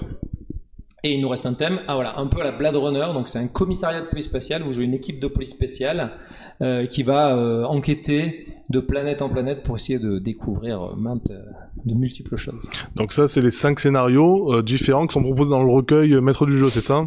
Dans, alors, dans donc ça c'est la création, Ouais. voilà, avec les règles. Euh, Il y a des règles bleues qui sont les règles de base, qui sont vraiment très fluides. Voilà, là, là, euh, enfin, j'ai déjà fait jouer des enfants de 9 ans et ils comprennent, donc c'est très fluide. Il y a un petit côté tactique qu'on peut euh, utiliser. Ça joue juste avec un D10, mais euh, il y a quand même une certaine richesse. Euh, Il y a, euh, ça c'est tout ce qui est vaisseaux spatiaux, robots, matériel cybernétique, quelques pouvoirs pour faire simple, on va dire psioniques, mentaux, quoi, voilà. Voilà, comment on altère la réalité. Et ça, c'est le dernier, c'est là où il y a les cinq scénarios. Voilà. Euh, donc les cinq scénarios euh, qui sont proposés. Euh, et euh, mais c'est pas la même chose que les cinq thèmes. En fait, les cinq thèmes, c'est un thème qu'on va choisir au début. Donc par exemple, on dit allez, on joue tous des pirates de l'espace. Donc on a un vaisseau et c'est le thème, c'est-à-dire notre vie, c'est pirates de l'espace. Mais les scénarios, ils vous embarquent dans des histoires différentes. Donc là, il y en a cinq là-dedans. Euh, on a sorti l'écran aussi. Euh, donc l'écran, il va avec la version euh, premium où là, il y a toute la gamme, donc cette version-là. Euh, et avec ce qu'il y a dans l'écran, on monte à 20 scénarios. Voilà, donc et après il y a aussi un objet qui est au milieu qu'on appelle la bourse quantique. Pour ceux qui connaissent un peu, je fais simple, c'est euh, basé sur le, le chat de Schrödinger. voilà, donc le chat de Schrödinger, c'est simple. Vous avez euh, Einstein, qui est un gros génie euh, de la physique, et il y en a un autre qui s'appelait Erwin Schrödinger, qui lui aussi euh, parlait de physique quantique. Donc ça a l'air très compliqué. En fait, c'est très simple. Il explique à tout le monde que dans une boîte, il y a un chat. Il est avec une petite fiole de poison. Le chat est à la fois mort et vivant. Tant qu'on n'a pas ouvert la boîte, bah, il est dans les deux états. On ne sait pas s'il est mort ou vivant. Et une fois qu'on a ouvert la boîte, alors il est soit mort, soit vivant. On ne peut plus jamais le changer. Voilà. Donc dans le jeu, euh, comment ça se traduit? Les personnages, ils peuvent altérer la réalité. Ils vont chercher des doubles d'eux-mêmes dans des réalités alternatives. voilà, qui viennent et qui les remplacent pour faire des actions d'éclat. Donc imaginez, vous êtes un pirate et vous êtes arrivé devant le coffre, et là vous commencez à crocheter le coffre et tout ça, donc vous dites, je vais peut-être pas y arriver, il y a pas mal de gardiens. Allez, j'appelle un double. Il vient, il crochette le coffre, votre double a réussi à crocheter le top, ça s'ouvre. Très bien. Et après, au moment de sortir, euh, il y a un gars qui vous intercepte, il dit euh, Qu'est-ce que vous faites là? Et là, vous dites ah, Il faut que je dise un bon truc. Euh, Vous appelez un- quelqu'un qui est fort en rhétorique, un de vos doubles, il vient, il vous remplace, et là, vous lui dites En fait, je suis le technicien. Euh, J'ai utilisé l'accès euh, X42 et j'ai les accès à cette porte.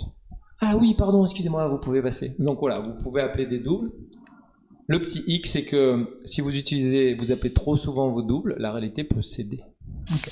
Ah, pour faire un lien avec la conférence du comic des comics sur le multivers, c'est exactement la même chose que euh, le personnage dans, principal dans Everything Everywhere All at Once. C'est Où elle va- exactement euh, ça. voilà. Pour comme Ceux ça, qui ça ont- permettra aussi. Voilà, euh, voilà. Il y a eu un film qui est sorti là-dessus, tout à fait, c'est ça. Sauf que dans Everything Every- Everywhere All at Once, ça part en cacahuète dans tous les sens. Voilà.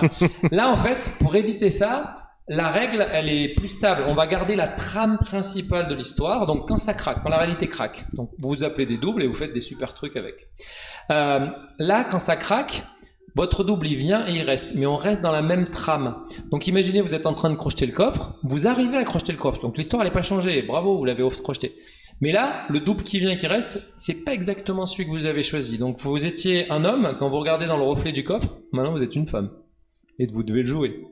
Euh, ou alors, euh, vous étiez en train de crocheter le coffre, votre double il a des intérêts différents. Donc il arrive, et lui, alors que la sonnerie est déclenchée, donc vous l'avez ouvert mais ça a déclenché la sonnerie, tous vos camarades disent bon il faut qu'on s'en aille là, t'as pris ce qu'il y a dans le coffre, il faut qu'on s'en aille. Et là vous, vous devez aller au 15e étage pour libérer euh, un compagnon que vous avez qui est emprisonné. Donc à vous de les convaincre pour y aller. Voilà. Ou alors dernière chose, ça peut être, mais on reste toujours dans l'histoire. Ça peut faire un petit rebondissement dans l'histoire pour que ça soit, pour que le flot de l'histoire euh, reste. Et euh, dernière chose, euh, bah, ça peut être mental, donc euh, vous pouvez avoir une envie folle de faire une déclaration d'amour à un autre joueur, donc à vous de vous faire une déclaration d'amour euh, à, à l'autre joueur, et après vous devez l'assumer par contre. hein, voilà. C'est le truc. euh, voilà. Bon, c'est quelques petits exemples. Dans le jeu, il y a des listes qui sont proposées, vous pouvez choisir dedans ou les tirer. Et après, quand vous êtes bien inspiré, bah, vous choisissez en fonction de, des histoires de chaque personnage. C'est le, plus sympa. Donc, euh, alors si- s'il y en a qui sont intéressés par, par ton jeu, euh, où est-ce qu'ils peuvent bah, l'acquérir? En fait, euh, il est sur, euh, bah, on, le, on le vend sur notre site. Ok. Où euh, ça s'appelle Quantique, voilà, comme la physique quantique avec un S. Point space, S-P-A-C-E. E. Donc quantique.space. On a une boutique. Il y a des produits gratuits. On a mis le jeu récemment en Creative Commons, donc le système de jeu, donc tout le monde peut Mhm. le voir et le tester, voilà, et puis l'utiliser pour son propre jeu. On a aussi bah, dans le JDR Mag, donc Jeu de rôle magazine, numéro 62, le dernier. Il est en téléchargement gratuit, donc vous verrez, il y a la critique euh, du jeu. Voilà, et euh, vous avez aussi le scénario qui s'appelle En veine. C'est un scénario qui se passe dans un astéroïde minier. Voilà, il y a un petit jeu de mots. Et, et, à- et en même temps, euh, voilà, c'est un scénario plutôt d'enquête voilà, qui se passe dessus. Donc vous pouvez voir le scénario, voir la critique. Vous pouvez voir le système de jeu, c'est déjà pas mal. Il y a des personnages. Et si ça vous plaît, bah, vous pouvez soit prendre la version classique avec les trois livres que je vous ai montrés blancs, soit la version premium. Et là, avec la version premium, vous avez donc l'écran, euh, ça monte à 20 scénarios. Vous avez la bourse. La bourse, c'est ce qui fait le système quantique, voilà, euh, que j'ai expliqué. Parce que fait, vous avez une petite bourse. Dedans, il y a des chats vivants et des chats morts. Donc, Hmm. si vous piochez le chat vivant, c'est ça s'est bien passé. et si vous piochez le chat mort, eh ben là, le maître de jeu, c'est à sa libre imagination. Donc, il peut être soit très cool, soit il peut vous faire euh, des trucs un peu étranges, euh, voilà, en rapport avec votre personnage. Donc, c'est et donc les histoires euh, globalement sont linéaires, mais elles sont ponctuées de surprises. Donc, on s'ennuie pas en fait. hein, voilà, c'est comme ça que ça se passe. Ok. Est-ce que vous avez d'autres questions? Ouais. Ah, c'est j'ai- j'ai une petite remarque. Voilà, moi c'est par rapport à la question bonus qu'on mettra peut-être après. Peut-être, voilà. En fait, il y a Question une bonus. question bonus à la fin qu'on pose à tout le monde, et il y a une question qui est revenue souvent, qu'on a posée à plusieurs personnes parce qu'elle est complètement crétine. C'est euh, plutôt t-shirt ou plutôt pull?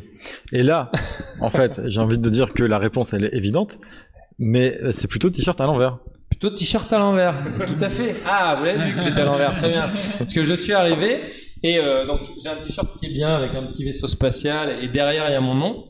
Mais là, pour que ça soit plus visible, normalement c'est dans le dos. Je l'ai mis devant. Voilà. Et je me suis dit, personne ne verra qu'il sera à l'envers. T'as perdu. C'est t-shirt à l'envers la réponse. Tout à fait.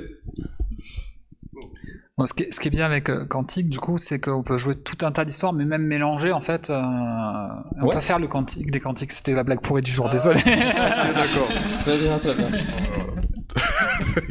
On peut chanter cantique aisément, moi je pense. Bon, bah merci en tout cas d'être passé et, euh, et on va suivre Bah, ça. C'était un plaisir euh, Hum. de participer à votre interview.